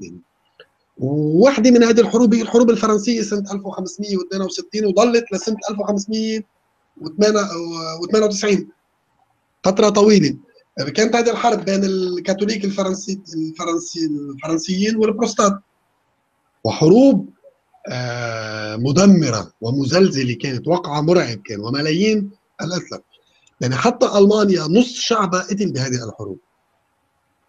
فاستيقظوا هول الناس استيقظوا الأوروبيين على فكرة إنه الدين ما أعطاهم يلي هن عم بيحاولوا يوصلوا له ألا وهو التطور الاستقرار الأمان. فحيدوا الكنيسة زيحوا الكنيسة وعملوا بشيء اسمه القانون الإنساني. يمكن من وجهة نظرهم هن الأوروبيين الكنيسة ليست سيئه عم نحكي عنهم هن مش بدك فيني يعني. من وجهة نظرهم الكنيسة ليست سيئه والدليل لا يزال بأوروبا هناك ناس مؤمنين وبروحوا على الكنائس.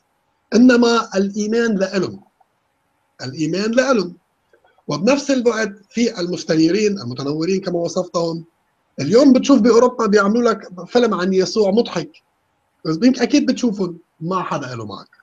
في غنية اي ويل سرفايف بيبقى واحد مثل يسوع ماشي بالشارع وبيشلح. فيلم بريطاني هو يعني عرفت كيف؟ ما في مشكلة. ما سمعنا إنه قتلوه. ما سمعنا إنه هددوه بالقتل. ما سمعنا إنه آه نكحوه. ما سمعنا ما سمعنا. ما سمعنا. يعني ما سمعنا مارسوا عليه الدكتاتورية. لا بالعكس هو حر يقول اللي بده عفوا. المستنيرين بأوروبا استقطبوا المسيحية مش المسيحية استقطبتهم هن استقطبوا المسيحية وروضوا المسيحية بالنزاع. بالدين روحوا عبود حجر ما إلي عندك ما إلي عندك. روضون وفصلون عن الحكم فصلون عن الحكم. الكنيسة عبارة عن مكان للعبادة. ربك موجود ربك مش موجود. ربك صلب ربك مش صلب هذا موضوع بخصك أنت ما بخصنا ما بخص الدولة وسياسة الدولة.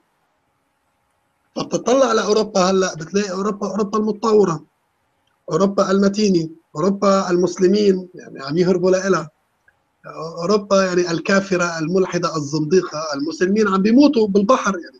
أنا بتأسف يعني هذا الموضوع أكيد مش يعني مش مش عم مش عم بستهزئ. أنا بتاسف إنه يموت إنسان بالنهايه فعم بيموتوا بالبحر كرموا يوصلوا على أوروبا الكافره الملحده اللعينه يعني. فهمت علي؟ آه هيدا المفروض الشيء اللي لازم يحصل بالعالم العربي. تجريد رجال الدين المسلمين من قوتهم. تجريد من قوتهم. لا يوصلوا لمرحلة التطور والرقي إلى آخره لأنه الدين هو السبب برجوعنا إلى الخلف. ما عم بيقدم لنا شيء الدين جان. ما عم بيقدم شيء إذا كان قانون ثابت أوكي. إذا بدك تتعاطى مع القرآن بأنه كتاب آه نص آه قانون دستور. أنا موافق. تعال وياك نحكيك تحكيك هذا الكتاب بمعنى قانون. قانون مثله مثل القانون السوري القانون اللبناني. أنا موافق. تعال نقرأ شو في بقلبه من تشريعات تحمي الإنسان السارق. شو بدنا نعمل فيه مثلا؟ نشوف. لا ما بيتناسب معنا هذا خلونا نعدل. فما في مشكل هذا الكتاب فينا نحتفظ فيه ما في مشكل بس تيجي بدك تلزم الناس بالنص الموجود بهذا الكتاب 100% لا ما فيك تجي. ما فيني إجي أقطع ايد إنسان لأنه سرقني ما أنت حتدمره كل عمره هذا الإنسان. هلا عندهم كلام جديد حلو شو بيقول لك؟ بيقول لك بيقطعوا له إيده من ما عطلته لعنة أخته انت خلص. قطع له إصبع شليته. إصبع شو هو الإصبع؟ إصبع واحد. خربت له إيده كلها أنت. يعني عم بيحاولوا قال يعدلوا بشيء لا عدلوا انصفوا هذا الموضوع. قولوا إنه هذا الموضوع ماشي. كان هذيك الأيام وبطل فينا ننفذه هلا خلونا نطور شوي خلونا نعدل شوي. فنحن آه عفوا. آه كتاب تاريخي مثل ما قال السيد القمني يعني بكفي خلق أوكي يعني عباد ربك بقوانين القرآن بس خليه كتاب تاريخي مثل ما فعلوا اليهود فعلوا المسيحيين يعني خليه معك خليه بجيبك خده على الجامع بس ما تفرضه على علينا يعني.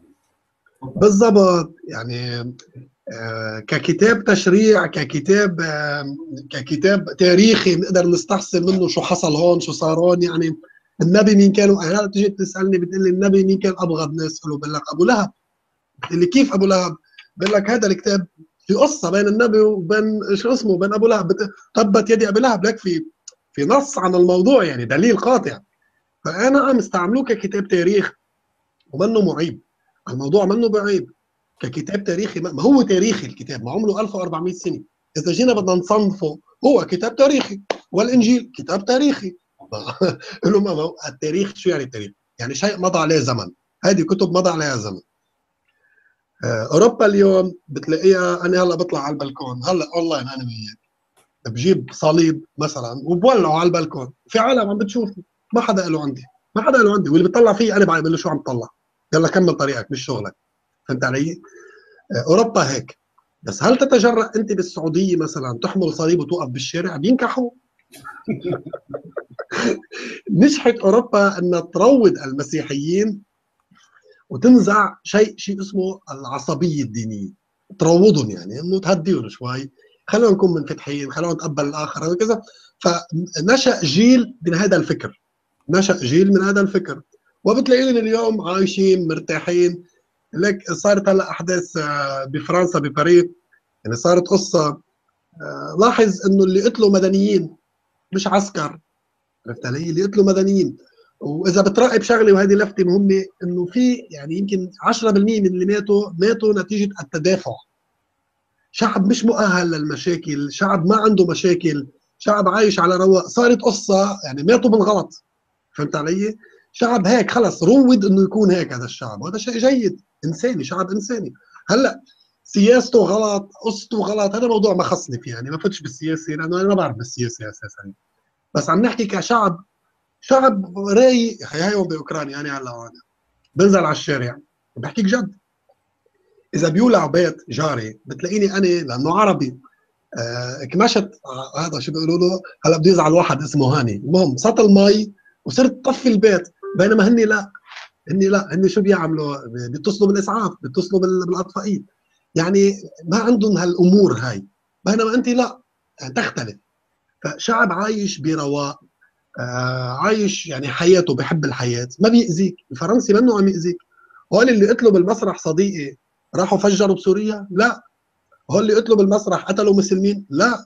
يمكن يكون في منهم ناس استقبلوا مسلمين وقت إجوا لعندهم مهاجرين. أنت مين قتلت؟ وكذلك هذا موضوع أنا كمان بدي أضطر القصة الفلسطينية هي معلي لو إنه شوي صغيره لا تفضل.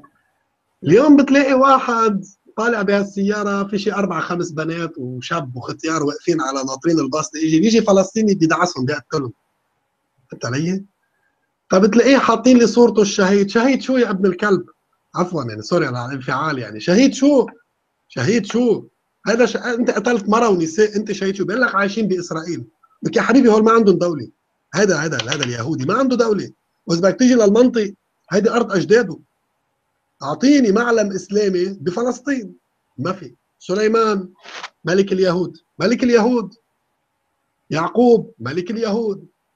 آه، آه، إسحاق ملك اليهود. وقبورهم موجودة هناك هيدي الأرض اليهود سكنها فعليا. بس البروباغندا التضليلية الإسلامية. نجحت إنها تغير. هلأ okay يا جون. ما فينا نجي نقول لليهود للهنود الحمر هلا روحوا على أمريكا واحتلوا أمريكا لأنه أرض جدودكم. ما في ناس قاعدين فيها. بس كمان في تاريخ ما فيك تزوره. في تاريخ ما فيك تزوره. هذا أنا كيهودي مثلا مثلا. أنا بقول هذا محمد أو دانيال يهودي. ماشي. أنا يهودي يا أخي. بأوكرانيا ما عندي حقوق. بأوكرانيا ما عندي معابد. مثلا. بحمل حالي بروح على إسرائيل لأنه مأمنين لي معابد. أنا مواطن مدني. أنا مواطن مدني. ما رفعت عليك السلاح. يمكن سياسة بلدي ما بتعجبني. فأنت وقت اللي عم تيجي تقتلني حتدخل فيي على الجنة بمفهومك يعني؟ عم يقتلوا نساء عم يقتلوا أطفال وبيروحوا بحطوا لك صورهم على الفيسبوك الشهيد الفلاني. يا حبيبي هذا شهيد؟ أنت شجاع أنت بطل أنت مقاتل أنت بدك ترجع بلدك. روح اقتل جيش واجه واجه إنسان حامل سلاح. بالزمانات في قصة بدي أذكرها بشكل سريع موجودة على اليوتيوب. المقاومة بلبنان وقت اللي كان الإسرائيلي موجود بلبنان. انتبه يعني مش مع الإسرائيلي يعني بكرهوا الإسرائيلي. هذا احتل لي بلدي. هلا بيعملوني يهودي يا جان. أنا أنا أظن يعني ال ال ال الإنسانية لازم تتخطى هالمرحلة هي. طبعا طبعا. انسان كل الكرة الأرضية كلها وطني بصراحة يعني. بالضبط. يوم يهودي يعني حتى اليهود الصراع اليهودي الإسلامي صراع ديني بحت وهن أصلا قايمين على على هو س... جان هو صراع ديني ما في شيء ثاني اوعى تفكر في شيء ثاني هو صراع ديني قائم. بالزمان المقاوم بلبنان كان عندنا شيء اسمه جيش لحد. هذا الجيش اللحد هي قصة ما خاصه بالموضوع بس خليني أحكي لك إياها. الظروف كيف هي أعطي مثال بسيط. هذا جيش لحد جان هو لبناني. هو لبناني. قاموا الإسرائيليين جندوهم وعملوا مثل جيش قدام جيشهم. فقامت هذا قائدهم اسمه آه، شو اسمه؟ لحد. بالضبط. قامت المقاومة بقى تقتلوا لهذا الزلمة. بقى تغتاله قائد عسكري. ما في صراع عسكري بين بعضهم صار هلا أنا كإنسانية بحترم الصراع بس ما بحترم الفكر الديني. بس كانساني آه هذا محتل لي بلدي أو واخذ أرض من أرضي. آه كمقاتل أنا بحترمك. فهمت علي؟ كمقاتل. قامت المقاومة خططت لأنه يقتلوا هذا الزلمة. حضروا معركة اثنين حضروا عملية اثنين ثلاثة ألغيت الثلاث عمليات مصورة على اليوتيوب الموضوع. في صور. فاجى السؤال للقائمين على المقاومة. هلا المقاومة بهذيك الفترة مش حزب الله اليوم تختلف شوي. في أمور كثير تختلف. فاجى السؤال للمقاومة اللبنانية. إنه ليش ألغيتوا العملية؟ فشو بيجي رد غرفة مقيادي؟ بيقول لهم كان معه كلب. كان لحد معه كلب عم يتمشى وياه. ما له ذنب الكلب؟ القائمين على الموضوع. مش عم بحكي مش عم بحكي القيادة. اللي عم بينفذوا الموضوع إنسانيين. قالوا لك ما ذنبه الكلب. انتبه انت عم مش عم تقتل عسكري. انت عم تقتل قائد فهمت علي؟ فليش الفلسطيني اليوم ما بيعمل هذا الموضوع؟ ليش ما بيروح لمواجهة عسكرية؟ ليش ما بيروح لمواجهة عسكرية؟ ليش عم يقتل أطفال ونساء؟ ليش عم يتعدى على هيدي الناس؟ أنت بطل أنت شجاع روح قاتل عسكري مثلك مثله حامل سلاح ما تروح تدهس نسوان وتقتل أطفال وتطعن شيوخ رجال كبار بالعمر مع السياسي ولا ضد السياسي أنت جبان ما عليه واجه عسكر كون عسكري بعدين أنا بدك للصراحة الله مع إسرائيل الله مش مع حماس أنا بالنسبة لي الله إسرائيلي خي. الله إسرائيلي. بفوتوا لك بمعركة. عم ياكلوا قتله عم يتدعوسوا. واخر النهار شو بيقول لك؟ انتصرنا. بشو انتصرت؟ بشو انتصرت؟ دمرت المدينة دمرت بشو انتصرت؟ منعنا العدوان. شو منعت العدوان؟ بيت ما عندك تسكت فيه وبتقول لي منعت العدوان؟ هلا دخلنا بسياسة نحن بس عم نحكي هو هذا جان الإسلامي والإسرائيلي صراع ديني بحت ما في شيء ثاني ما في شيء ثاني مثل ما كان الصراع الصليبي إلى آخره. هيدي بشكل عام لمحة يعني ما دخلنا فيها نحن مش المفروض ندخل فيها يعني؟ يعني آه. معك حق تدخل فيها يعني بصراحة يعني نحن بنريد إنه يفهموا الناس إنه صراعنا صراع ديني للأسف يعني صراع ديننا من 1400 سنة وما له طعم نهائيا يعني. وعلى. على ذكر الانتصار إنه انتصرنا وهن لا شيء هي موجودة بالثقافة الإسلامية العربية بشكل عجيب يعني. يوم الحرب ال...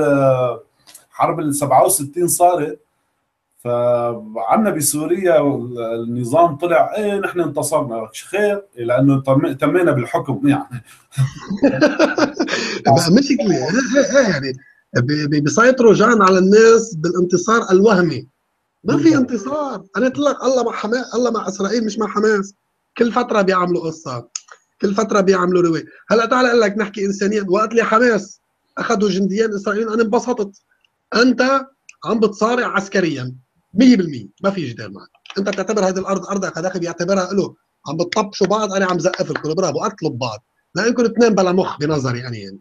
يا بتوصلوا لصيغة اتفاق. وقادرين تعملوا اتفاق. يا أما خليكم قتلوا ببعض وريحونا منكم يعني إحنا يفلتوا علينا. من فترة اسروا جنديا اسرائيليا. أنا بيني وبينك انبسطت.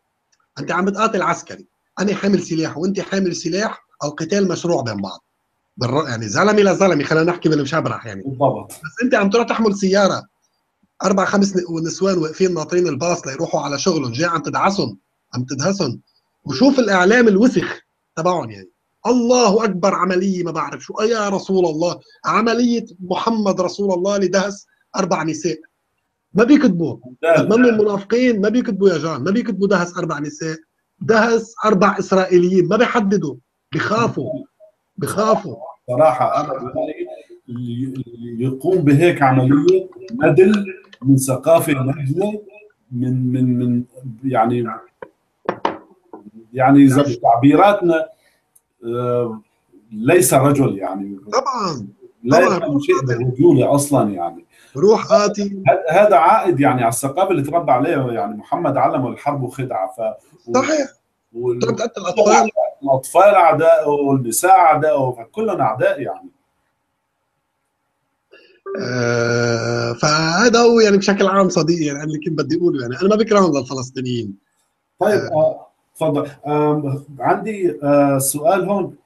آه المقارنه إذا إذا تقدر تقارننا بين بين الدول العلمانية الموجودة حاليا والدول المعتمدة. طبعا الإسلامية خلينا نقول لأنه الدول الإسلامية الوحيدة هي اللي بتعتمد على الغيبيات بقوانينها بترتيباتها. فإذا مقارنة بسيطة لو سمحت. بس بس عدلي عدلي عدلي السؤال. أنا عم السؤال كيف تقارن بين الدول التي تعتمد في قوانينها على الدين والدول العلمانية؟ الدول اللي بتعتمد بشكل عام بسياستها على الدين دول مش ممكن تراجعها أو دول مش ممكن نحاسبها. أنا ذكرت هذا الموضوع. لأنها بتعتمد على نص مقدس وخلص بيقول لك ممنوع نحكي فيه. الدول العلمانية القانون صناعة الإنسان. القانون صناعة الإنسان. بيجي أنا وجان وكريم هاني مهند بسينة مجموعة نجتمع ونتفق نتفق على شيء. آه هذا الشيء هو قانون. إذا شخص سرق آه نسجنه ثلاثة أشهر. إذا شخص نهب نسجنه ست أشهر. أول مرة ثاني مرة ثالث مرة نوضع قانون هذه العلمانية. قانون إنساني. لا يرتكز لا على دين ولا على شيء. أما الدولة الدينية ترتكز قلت لك بأحكامها على نص مقدس ممنوع نقرب عليه. يعني إذا اعترض على النص أنت يعني إذا وقت لأني قلت لهم وقفوا قطع يد السارق بالسعودية بيقول لك أنت عم تعترض على حكم الله. صحيح. أنت عم تعترض على نص نازل من عند الله. كيف بدك هذا الموضوع؟ كيف كذا؟ كيف كذا؟ هذا السبب يلي بيخلي الدولة المحكومة للدين دائما دولة رجعية. ما في ما في إمكانية نتطور لك هلأ الإمارات من فترة كنا بالإمارات. إذا بتروح على الإمارات الإمارات جنة. كلمة جنة يعني وصف جميل يعني. بس بتحسها لهيدي البلد مركبة تركيب. منا حقيقيه تحسها بلد منا حقيقيه ما فيها شيء حقيقي هذه البلد. ليه؟ آه مش مش مش طبيعتها لهيدي البلد. مش مناخها لهذا البلد. كله تركيب كله تركيب. أنت فاهم علي؟ آه بس عندهم مبدأ. شو هو؟ القانون. القانون رجعي. بلد من أجمل البلاد بس قانون رجعي. الأحكام المعمول فيها بدي كلها رجعية كلها أحكام رجعية يعني تحتكم للإسلام. بس معدلين شوي الجماعه يعني. كيف بدي أقول لك؟ عاملين أسلوب التقيه يعني. أنت علي مظبطينها يعني. بس بتروح لهونيك مين مشغلها؟ البلد الهندي الباكستاني الأفغاني. ما ما في ما في إماراتيين يعني. بس تشوف إماراتي مثل كأنه ملاك هذا يعني. أوه شفنا إماراتي. كلها أجانب. بلد بلد مركبة تركيب. هيدي البلد المتطورة محكومة أيضا لشو؟ للدين. فبتلاقيها فيها مشاكل فيها مشاكل خلص فيها مشاكل. يعني بتلاقي مثلا العسكري مسموح يربي دقنه يعني معاطينه للعسكري للشرطي. فيراري. فيراري. معاطينه لامبرجيني. تصور سي... آه سيارة الشرطة لامبرجيني هنيك. عمل لك أنا شفتهم. فهمت علي؟ بس دقنه هالقد. يعني البرغوث هالقد بقلب دقنه عرفت كيف؟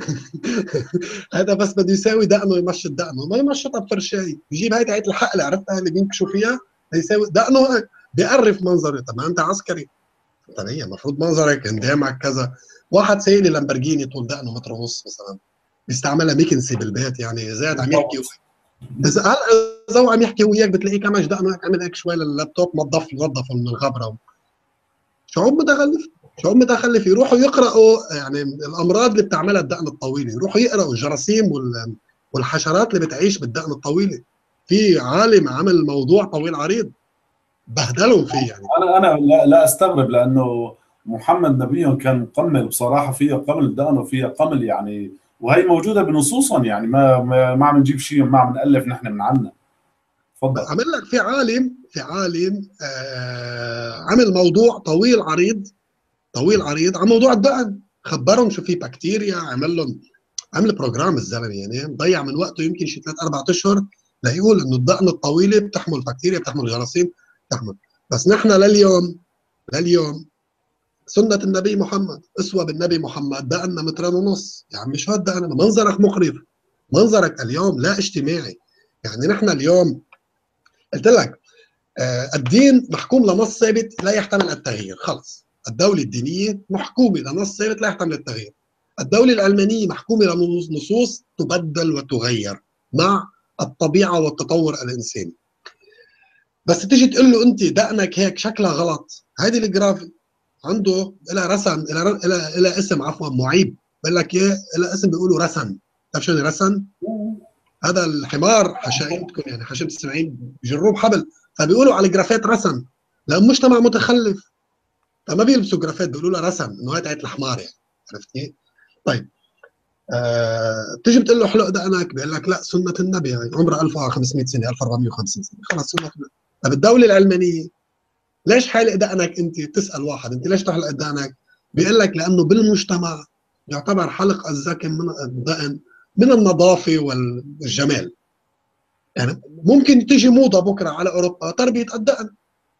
يعني متقلب. القانون متقلب. القانون ما بيمنعك تحلق دقنك والقانون ما بيمنعك تربي دقنك. بينما الإسلام بيمنعك تحلق دقنك بس ما بيمنعك تربيها. ولو بعد مليون سنة بده يضل يمنعك تحلق دقنك ما بيمنعك تربيها. فهذه الفروقات بشكل عام يعني. للأسف يعني يعني يعني الشكليات لها لها طابع خاص بكل دين يعني. أنا أعتقد كل الديانات أنا بصراحة ما عم بفهم شو شو مسألة إنه تربية الدقن؟ يعني بكل الغيبيات يعني روح شوف المسيحية اليهود البوذيين القرود السود كلهم بيحبوا الدقن الطويلة بيحبوا هالنشح هذا. فشو شو القصة ما عم بفهم ما قلت لك سنة النبي وخلص سنة النبي يعني ما سنة محمد يعني.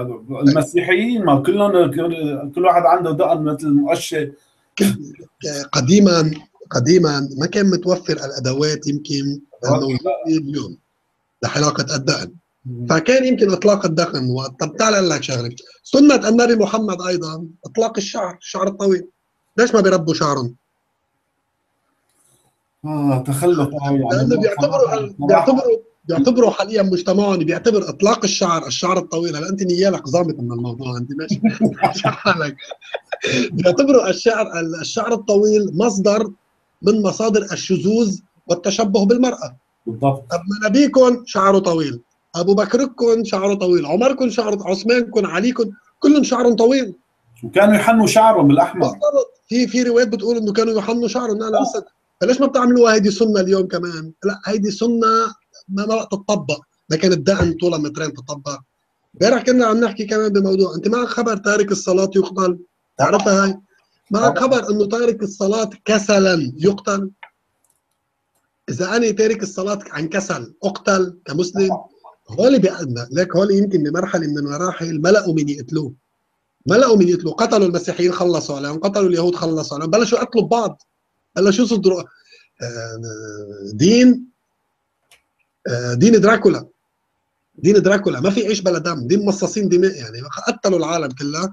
انقرضوا المسيحيين انقرضوا اليهود من شبه الجزيرة العربية. لعنوا أبو أفطاسهم هربون إلى الجبال هربون إلى بيروت لبنان الحروب القديمة. مين بدهم يقتلوا؟ ما بقى في حدا. بلشوا يصدروا فتاوى ببعض. تارك الصلاة سهو. بتعرف شو تارك الصلاة سهو؟ كسلا كسلا عفوا. أنا اليوم آه أذن الظهر. ما بدي صلي. مكسل يا أخي. شو لك معي؟ ما بدي صلي. فهمت علي؟ تعتبر شو؟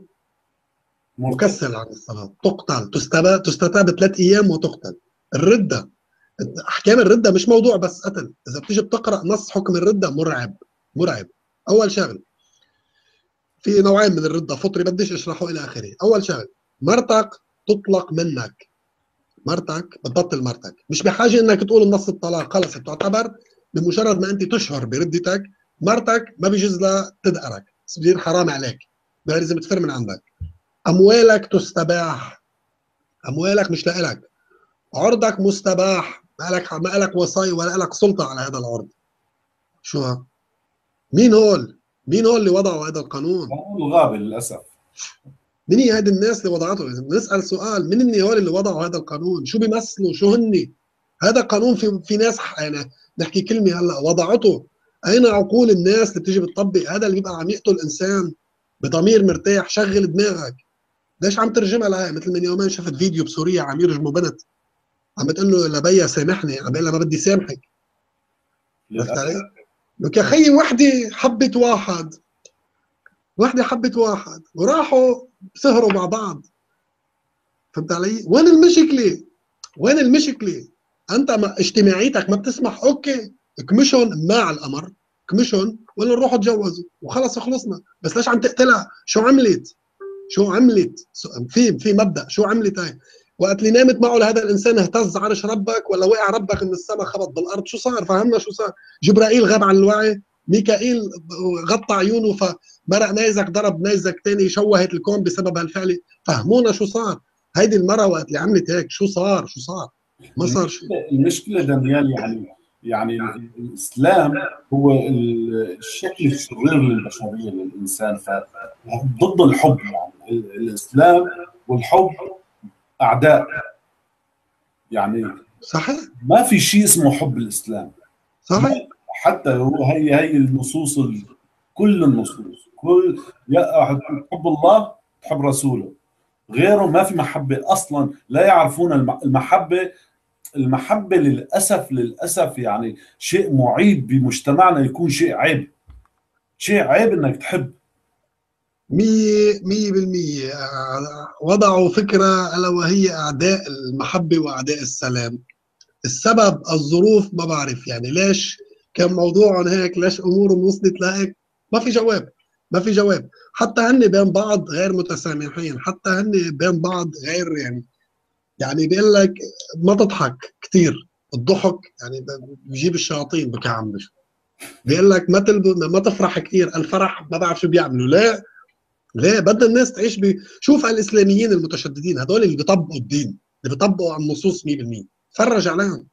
تحسه إنسان مريض أنت مش طبيعي. هذا إنسان مش طبيعي. مرضى نفسيين هدول بدهم علاج يعني. ما بيبتسم. ما شاف الأمراض العقلية لازم. ما بيبتسم. على طول عابس. إذا ضحك. بتلاقيه عبس أو وبعد الضحك بيستغفر الله إنه ضحك. ليه؟ ليش؟ عم تستوعب كيف موضوعهم يعني؟ وشوف شيوخهم ما أحلاها أنت. يعني في هذا الحيواني عفوا الحويني. نفس الاسم حيواني وحويني يعني بتشابهوا أقل من حيواني بصراحة يعني. بكل معنى الكلمة يعني انه ولا شوف لي هذاك اللي اعطوا لي بينسى لي اسم الغدد. هذا شو اسمه؟ العريفي. كل موضوع بينسى اسم العالم يعني. وجون سميث. عوفني الله أن يدور على جون سميث ما كنت لاقيه لجون سميث. هذا العالم للقران ما كنت لاقيه لاقيه ما عم لاقيه لهذا العالم غيرك أكيد. لك يا رجل لي قضيت أسبوع بحث بحث بحث. ليك استعملت الاسم على المترجم بالإنجليزي كتبته. بالفرنسي كتبته بالإيطالي كتبته. بالعربي وصلت معي بالصيني عملت بحث. ما في. ما في. وموضوع الغده النسي اسمها مصيبة هي هيدي هيدي هذا الفيلم كيف بيطلعوا ليك جان شو بصير هلأ أنا بقدر أضحك على الناس. أنا وأنت بنقدر نضحك على الناس. بس انتبه ضحكنا وكذبنا في ناس بتيجي بتكشفه هلأ بيطلع أنا بقول لك يا جان امبارح أنا كنت عم بحضر برنامج للدكتور البروفيسور العالم الصواريخ النووي الكيماوي السماوات والأرض شريك الله في الملك. بطرق لك اسم له مرعب. أيوه كذا. بيقول إنه اكتشف إنه الله موجود على المريخ. والدليل كذا وكذا وكذا. في ناس بتصدق في ناس بتصدق وفي ناس بتقول عني مجنون وفي ناس بتقول معقولي هالحكي في ثلاث أنواع من الناس. في ناس بتصدق في ناس بتستغرب وفي ناس بتبحث. بتروح بتكمشوا هذا الاسم اللي انت قلت بتسجله تعال نشوف مين هو هذا المجنون وبيقعدوا يبحثوا عنه. بالضبط. وقت اللي يكتشفوا إنه هذا الاسم مش موجود أو هذا الزلمة مش موجود. حيكتشفوا إنك أنت إنسان فارغ ما عندك شيء ما بتملك شيء عم تكذب على الناس وخلص. بس لا أكثر ولا أقل. وهذا موضوع هذيك يوم كنا عاملين حلقة. شو الإعجاز العلمي بالقرآن؟ اسم مين اللي عن أخته بدنا اسم؟ اسم مرعب يعني. بيقولوا لك ذكرت الأيام 365 يوم وذكر الشهر 12 مرة. جبنا القرآن يا أخي فتحنا القرآن قعدنا نبحبش. طلعت الأيام مذكورة 200 ويمكن شي 10 مرات. والأيام والأشهر شي 32 مرة يعني. مش مثل ما عم بيقولوا امه مطابقه طيب من وين جبتوا المعلومات؟ سمعوا المعلومات. هي هي هي بصراحة أنا أنا بقول إن هن بيستعملوا المعاريض كثير حديث المعاريض يعني هذا حديث آه، مثل ما نقول الهرم في الإسلام ما ما نعم. يعني يستعملوه كثير لذلك ينسى الغده ويكذب على الناس فهو حتى إذا بيعرف حاله عم بيكذب محلل له إنه يكذب فلا نستغرب يعني صحيح صحيح أخي آه، دانيال آه، خلينا نرجع لموضوع الإلحاد. نعم. بدنا كلمة منك للملحدين اللي خايفين يجهروا واحد وكلمة للي خجلانين يجهروا. يعني هلا في ناس مثلي ومثلك يعني عايشين بأوروبا ومع ذلك بيخافوا يجهروا بيخافوا يحطوا لايك حتى على على مسألة إلحادية مشان مشان مثلا أهاليهم ولا مين كان ما ما يقول لهم والله شو عم تساوي شو أنتم ملحدين؟ يعني بدي كلمة هيك تشجيعية للي خايفين واللي خجلانين. شو رأيك بالموضوع وشو شو بتقدر تقول لهم؟ تفضل. هي مش حتكون تشجيعية بقدر ما حتكون شوي هيك يعني كلمة قاسية. اليوم أنت إذا عندك فكرة جان ومؤمن فيها المفروض إنك تدافع عنها هذه الفكرة وتبرز هذه الفكرة. يعني لكل المؤمنين بالفكر الالحادي اللاديني الربوبي إلى آخره. المفروض أنتم اليوم آه، مش تجهروا بمعنى إنه والله نحن حابين نكون ملحدين أو شو فيني اني صرت ملحد لا. أنت اليوم مؤمن بفكرة المفروض تشجع على هذه الفكرة وبس تشوف هذه الفكرة عم تتطابق مع أفكارك المفروض تتبنيها. بس يكون بنفس الوقت عندك القدرة على الدفاع عن هذه الفكرة. بمعنى إذا أنا شفت جون كاتب إنه خلينا نطرح مثل إنه النبي محمد تزوج من فتاة عمرها ست سنين اسمها عائشة. ما في مانع أجي أنا أعمل له like لجون. مثلا إذا اجى إنسان مسلم وهو ما بيعرفني اني ملحد بده يسألني بقول له يا خيي ما مزبوط الكلام ما النص الفلاني بيقول كذا. يعني أنت فيك تشارك كملحد كلاديني كربوبي فيك تشارك بقدرة معرفتك. هذا الخوف مشكله الخوف عم بيخليهم يستبيحوكم أكثر والخوف عم بيخليهم يقتلوكم أكثر وقت اللي تطلعوا تحكوا افكاركم وقت اللي تطلعوا وتطرحوا مشاريعكم وايمانكم بالأمور الإلحاد ليس دين. ما ما له ركائز الان الإلحاد فكر نفي وفكر معارض لذلك منه دين. يعني في ناس بيقول لك الإلحاد دين شكرا لأنك اعترفت إنه دين. الإلحاد قانون. الإلحاد بشكل عام قانون. ما له تعريف محدد. وبينشأ من الإلحاد خلينا نسميهم طوائف. كلمة طائفه مش كلمة دينية.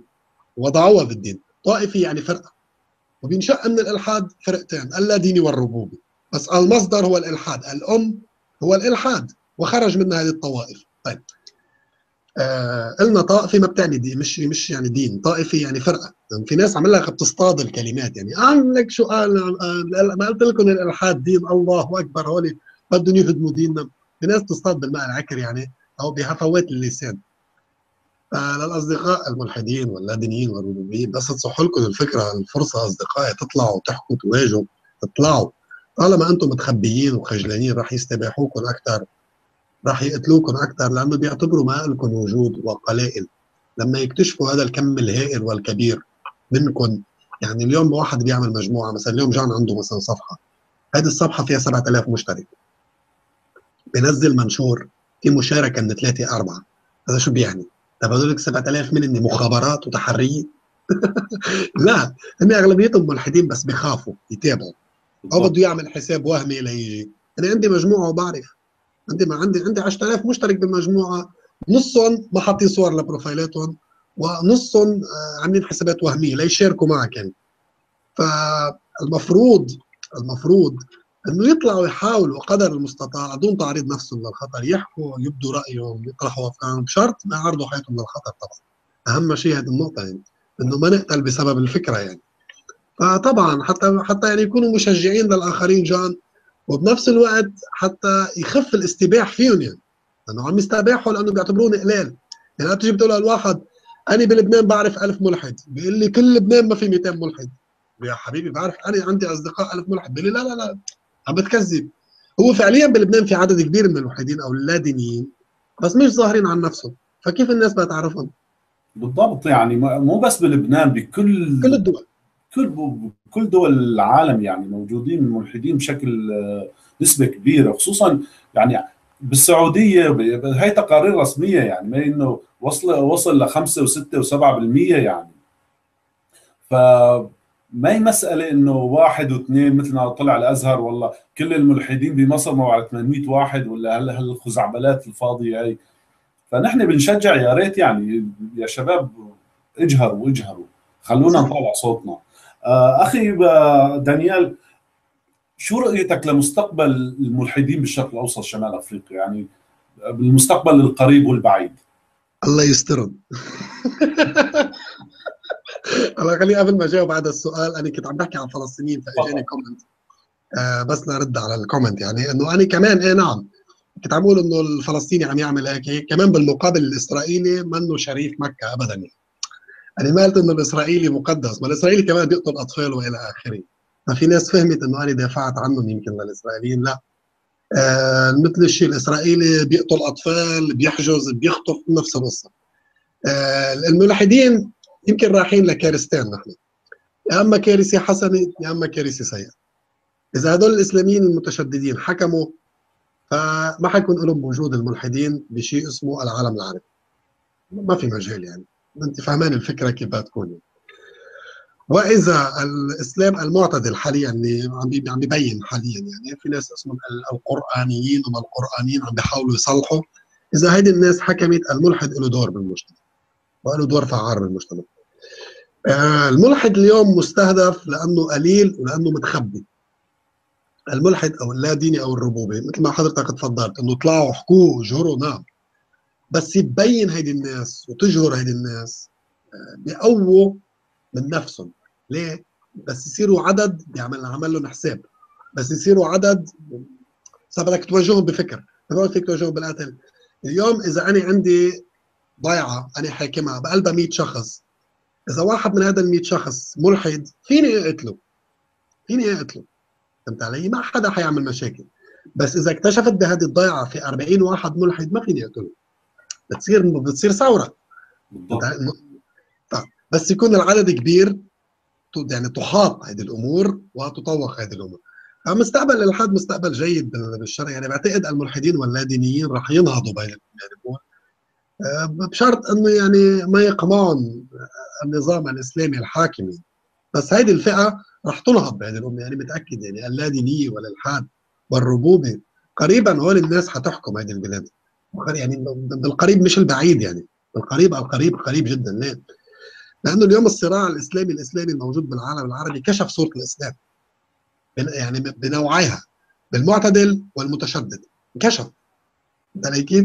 ففي كثير ناس خرجت. في كثير ناس ما اختارت الألحاد. ما قلت لك أنا لا أنكر وجودنا اختارت اللادينية. إنه أنا مؤمن بوجود مدبر لهذا الكون بس ما إنه رب. لا القرآن مثل ما قلت ولا الإنجيل ولا التوراة. بس خلوا لي الإيمان. الإيمان مسألة أملية. أمل أمل أمل. كيف يعني؟ أنا بفتح مشروع وبيبقى عندي إيمان إنه هذا المشروع بده ينجح. يعني الإيمان هو الأمل. وأنا كإنسان مثلا آه ببقى عايش حالي من الفقر والتعتير والشحار بيبقى عندي إيمان إني حعيش حياة ثانية هذا هو الإيمان. الإيمان ببساطة هذا وهو الأمل. الأمل بتغيير بالتحسين بالنجاح آه فكمان يعني هذا هو المبدأ. الملحدين بظن أو اللادينيين والربوبيين لهم القيادة قريبا جدا جدا جدا. هيدي الناس هي حتقود هيدي الأمة. وبعتقد المجتمع العربي أو الشرق اوسطي قريبا ما حي ما حيقل فرق عن المجتمع الأوروبي. اذا إذا تولد قيادته هيدي الفئة من الناس اللي عم نحكي عنها، الناس الإنسانية اللي بتتعاطى مع الناس بإنسانية، هلأ بيطلع لك واحد فلتان من الصحراء شو بيقول لك؟ شفنا الشيوعية شو عملت بروسيا وشفنا بالاتحاد السوفيتي وشفنا الشيوعية. فبنقول له يا آدمي يلي قاعد ما بعرف بأي صحراء روح روح أقرأ الفكر الشيوعي والفكر الشيوعي السياسي. في فرق مثل ما في فرق بين التوراة والقرآن. ما بيشبهوا بعض. الفكر الشيوعي هيجل ولا ماركس ما بيشبه فكر لينين وستالين. ما خصهم هذا فكر سياسي هذاك فكر شو؟ عقائدي. ما بيفهم. عقيده بمعنى مبادئ مش عقيده دينيه برجع بكرر مش عقيده دينيه فبيجي بيقول لك شفنا الشيوعيين شو عملوا. يا حبيبي هذول شيوعيين سياسيين. استعملوا الشيوعية وطوعوها بالسياسة واشتغلوا. فجاي انت تعرض لي مقارنة مثلا يعني هل الشيوعية الأفكار الشيوعية هل الإلحاد له كتاب بيقول اقتل المسلم؟ لا.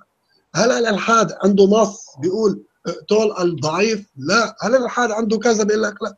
يعني في مبادئ بالإلحاد يصعب على العقل البسيط فهمها. شو هي؟ بيقول لك الأقوى التطور. مثلا يعني إذا نحن اكتشفنا إنه في طفل بده يولد مشوه خلونا نقتله. يعني خلونا يعني ما ما نخلي هيدا موضوع إنساني موضوع إنساني. إنه هذا الإنسان حيربى مشوه حيربى معاق حيربى كذا كذا كذا كذا. يعني في أمور صعبة شوي بالمشاعر ما فينا نتقبلها. بمشاعرنا نحن كناس ما فينا نتقبلها. إنما بالمبدأ لها وقعة هي لها قانونها. شو يعني؟ بيقول لك هذا هذا الطفل حيعيش مشوه حيعيش معاق حيعيش حياة صعبة. فأنا رحمه فيه عمل لك ما تجيبه على الدنيا بعده مش حاسس بشيء. فهمت علي؟ هيدي من المبادئ. نعم تتعارض مع المشاعر الإنسانية، أما إذا دخلنا بالصلب بالصلب بالصلب إلى أهدافها بالنهاية.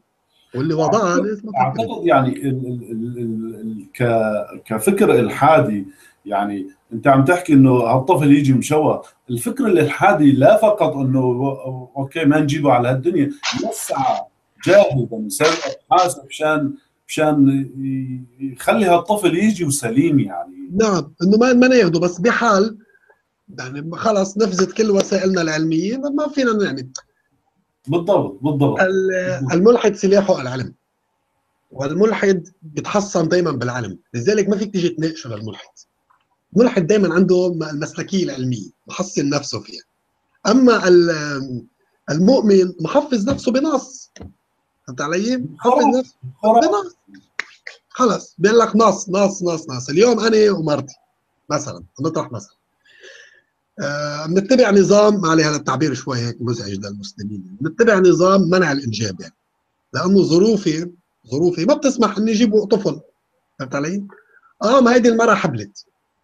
بقوم أنا بقول لها روحي سقطي. روحي روح الولد. يعني بعدها بأشهر أول أو شهرين عند المسلمين انت كأنك هزيت عرش الله. هذا الكل على كل قصة بينهز. بس يا صديقي أنا ماني قدران أو ما مش قدران حاليا يكون عندي ولد مثلا. عندك رح يدمر لي حياتي هذا الولد حيعيش هذا الولد بفقر. ليش بدي اجيبه على فقر؟ أما المسلم شو بيجي بيقول لك؟ ما بيشغل عقله بيقول لك الله بعته. يا حبيبي لا مش الله بعته. ليلي سوداء مطفي الضوء كنت أنت وياها اجى الولد مش الله ما خص الله. انتبه المبدا انت وياها كنتوا عم تشتغلوا وصار الغلط يعني. في مبادئ المسلكيه الحديد. بتقول لك شغل راسك شو بدك تعمل؟ بدك تجيب ولد قدران مش قدران كذا كذا كذا كذا. يعني مبادئ يعني مبدأ ما بيدمرك. مبدأ ما بيدمرك. اطلاق قانون يتعاطى معك لمصلحتك. بعكس القانون الإسلامي. خلص حبلت لازم الله بتفوت على جهنم. بده يشويك بده يعمل لك بطاطا مسلوقة. بده يسلخ لك جلدك يرجع يطلع لك جلد يرجع يشويك. بده يضل يشوي فيك ويسلخ يشوي فيك ويسلخ. يحرق اختها القصة هاي يعني أنا جاب لك الروح وما الروح. يعني يعني بصراحة بدك تجيب هالولد كمان اذا يعني إذا اجى وبده صار كافر مثلك يعني. بدك كمان يسلخ ربك يعني. بكل مثل قصة العبد الصالح. هذا العبد الصالح راح كان معه موسى. بيوصل لهونيك بلاقي ولد قاعد يعني. ما عم يعمل شيء قاعد الولد في الولاد عم تلعب وهذا الولد بيوصل العبد الصالح بيشيل سيفه وبيقطش له راسه. فبيقوم موسى بيقول له ربك اللي خلقك اللي عملك شو عملت شو عملت؟ قال له هيدا كان بده يطلع عرصة. بده يطلع أزعر وسخ. فنحن آه، منعا لأنه يصير إنه شو لك؟ بربه.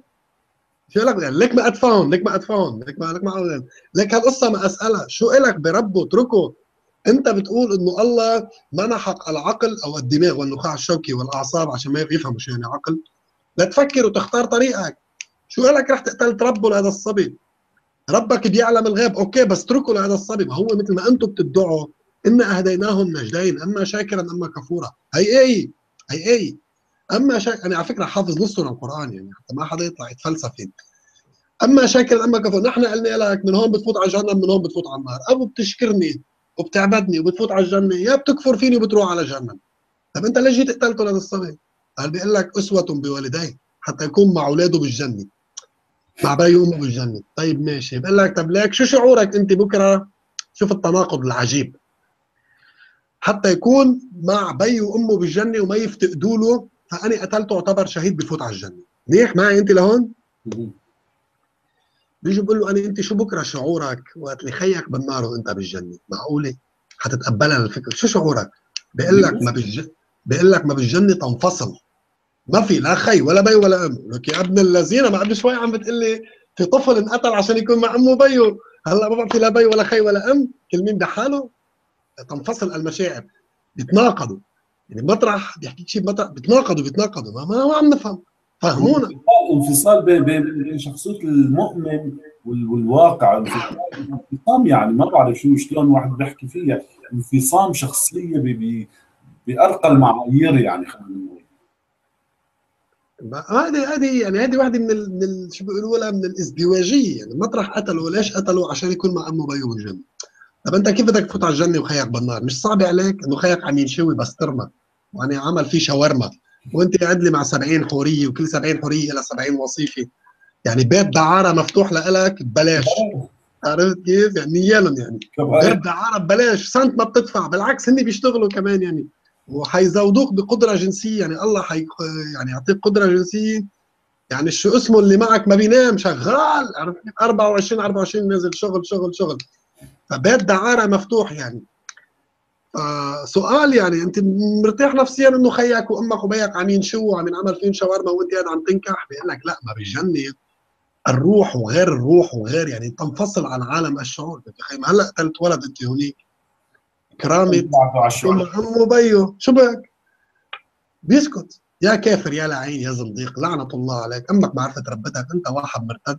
يلجأ لهذا الأسلوب. ما عنده رد. ما عنده رد. دائما بس يشتمني شخص أنا بنبسط جار ليه؟ أنا بعتبر انه بعتبر إنه فاشل ما عم يقدر يرد علي. رد علي. عم تسمع كلامي رد علي. يعني مثل عمل لك أنا قبل شوي كنت شفت مقاطع لك من الفيديو ثلاث دقائق محطوطة على صفحة هون صفحة هون يعني لقيت مقطعين عم تحكي فيهم أنت يعني. فما عندهم رد بتلاقيهم عم يشتموه. اللي حاطط الفيديو يعني. طب ليه عم تشتموه؟ ردوا ردوا. هذا زلمه طرح فكر. أنا هلأ جيت عم أقول إنه في بشريعة دراكولا ابن تيمية هذا مصاص الدماء بيقول إنه تارك الصلاة يقتل يعني عمدا أو كذا أو كسلا. هذا حكم من أحكام دراكولا تعول المسلمين. ردوا شو رأيكم بهذا الكلام؟ ما نص المسلمين 60% من المسلمين ما بيصلوا إذا مش 70% ما بيصلوا. ما بيصلوا ما بيصلوا. وفي ناس بتصلي بتقطش بتقطش نهار واثنين. بعرفهم أنا. هذا كله بده يقتل كله بدك تقتله بتصلي غير يوم الجمعة كمان. بالضبط.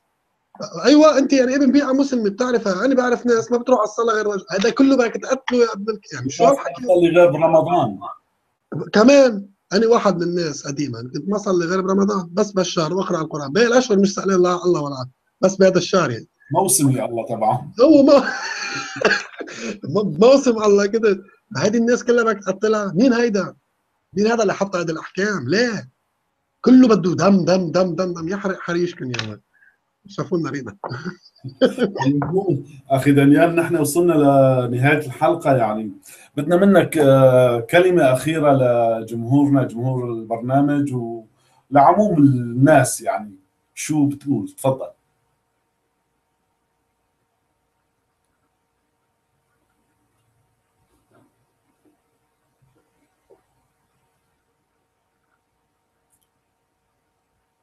أتمنى يكون الوضع طبيعي يعني بالنت.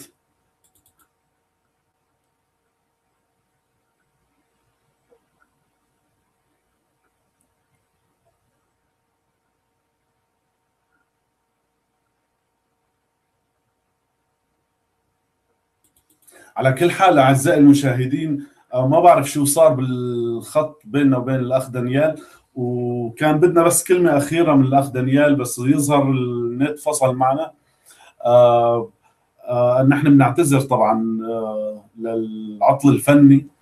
وعلى كل حال نحن وصلنا لآخر حلقة وكانت حلقة شوي يعني غير اعتيادية من حلقاتنا. وأنا كنت مستمتع جدا يعني مع الأخ دانيال. وشكرا لحضوره وشكرا لتلبية الدعوة.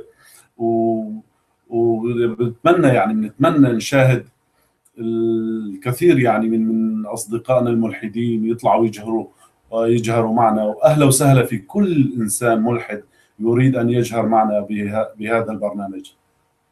وطبعا لا تنسوا تشاركونا بالتعليقاتكم وسووا شير للفيديو يعني نتمنى يعني نتوسع معكم وفيكم نكبر مثل ما ما بنعرف يعني واتمنى لكم أوقات سعيدة وشكرا لكم وشكرا للمتابعة. إلى اللقاء. إلى اللقاء في حلقة قادمة. شكرا.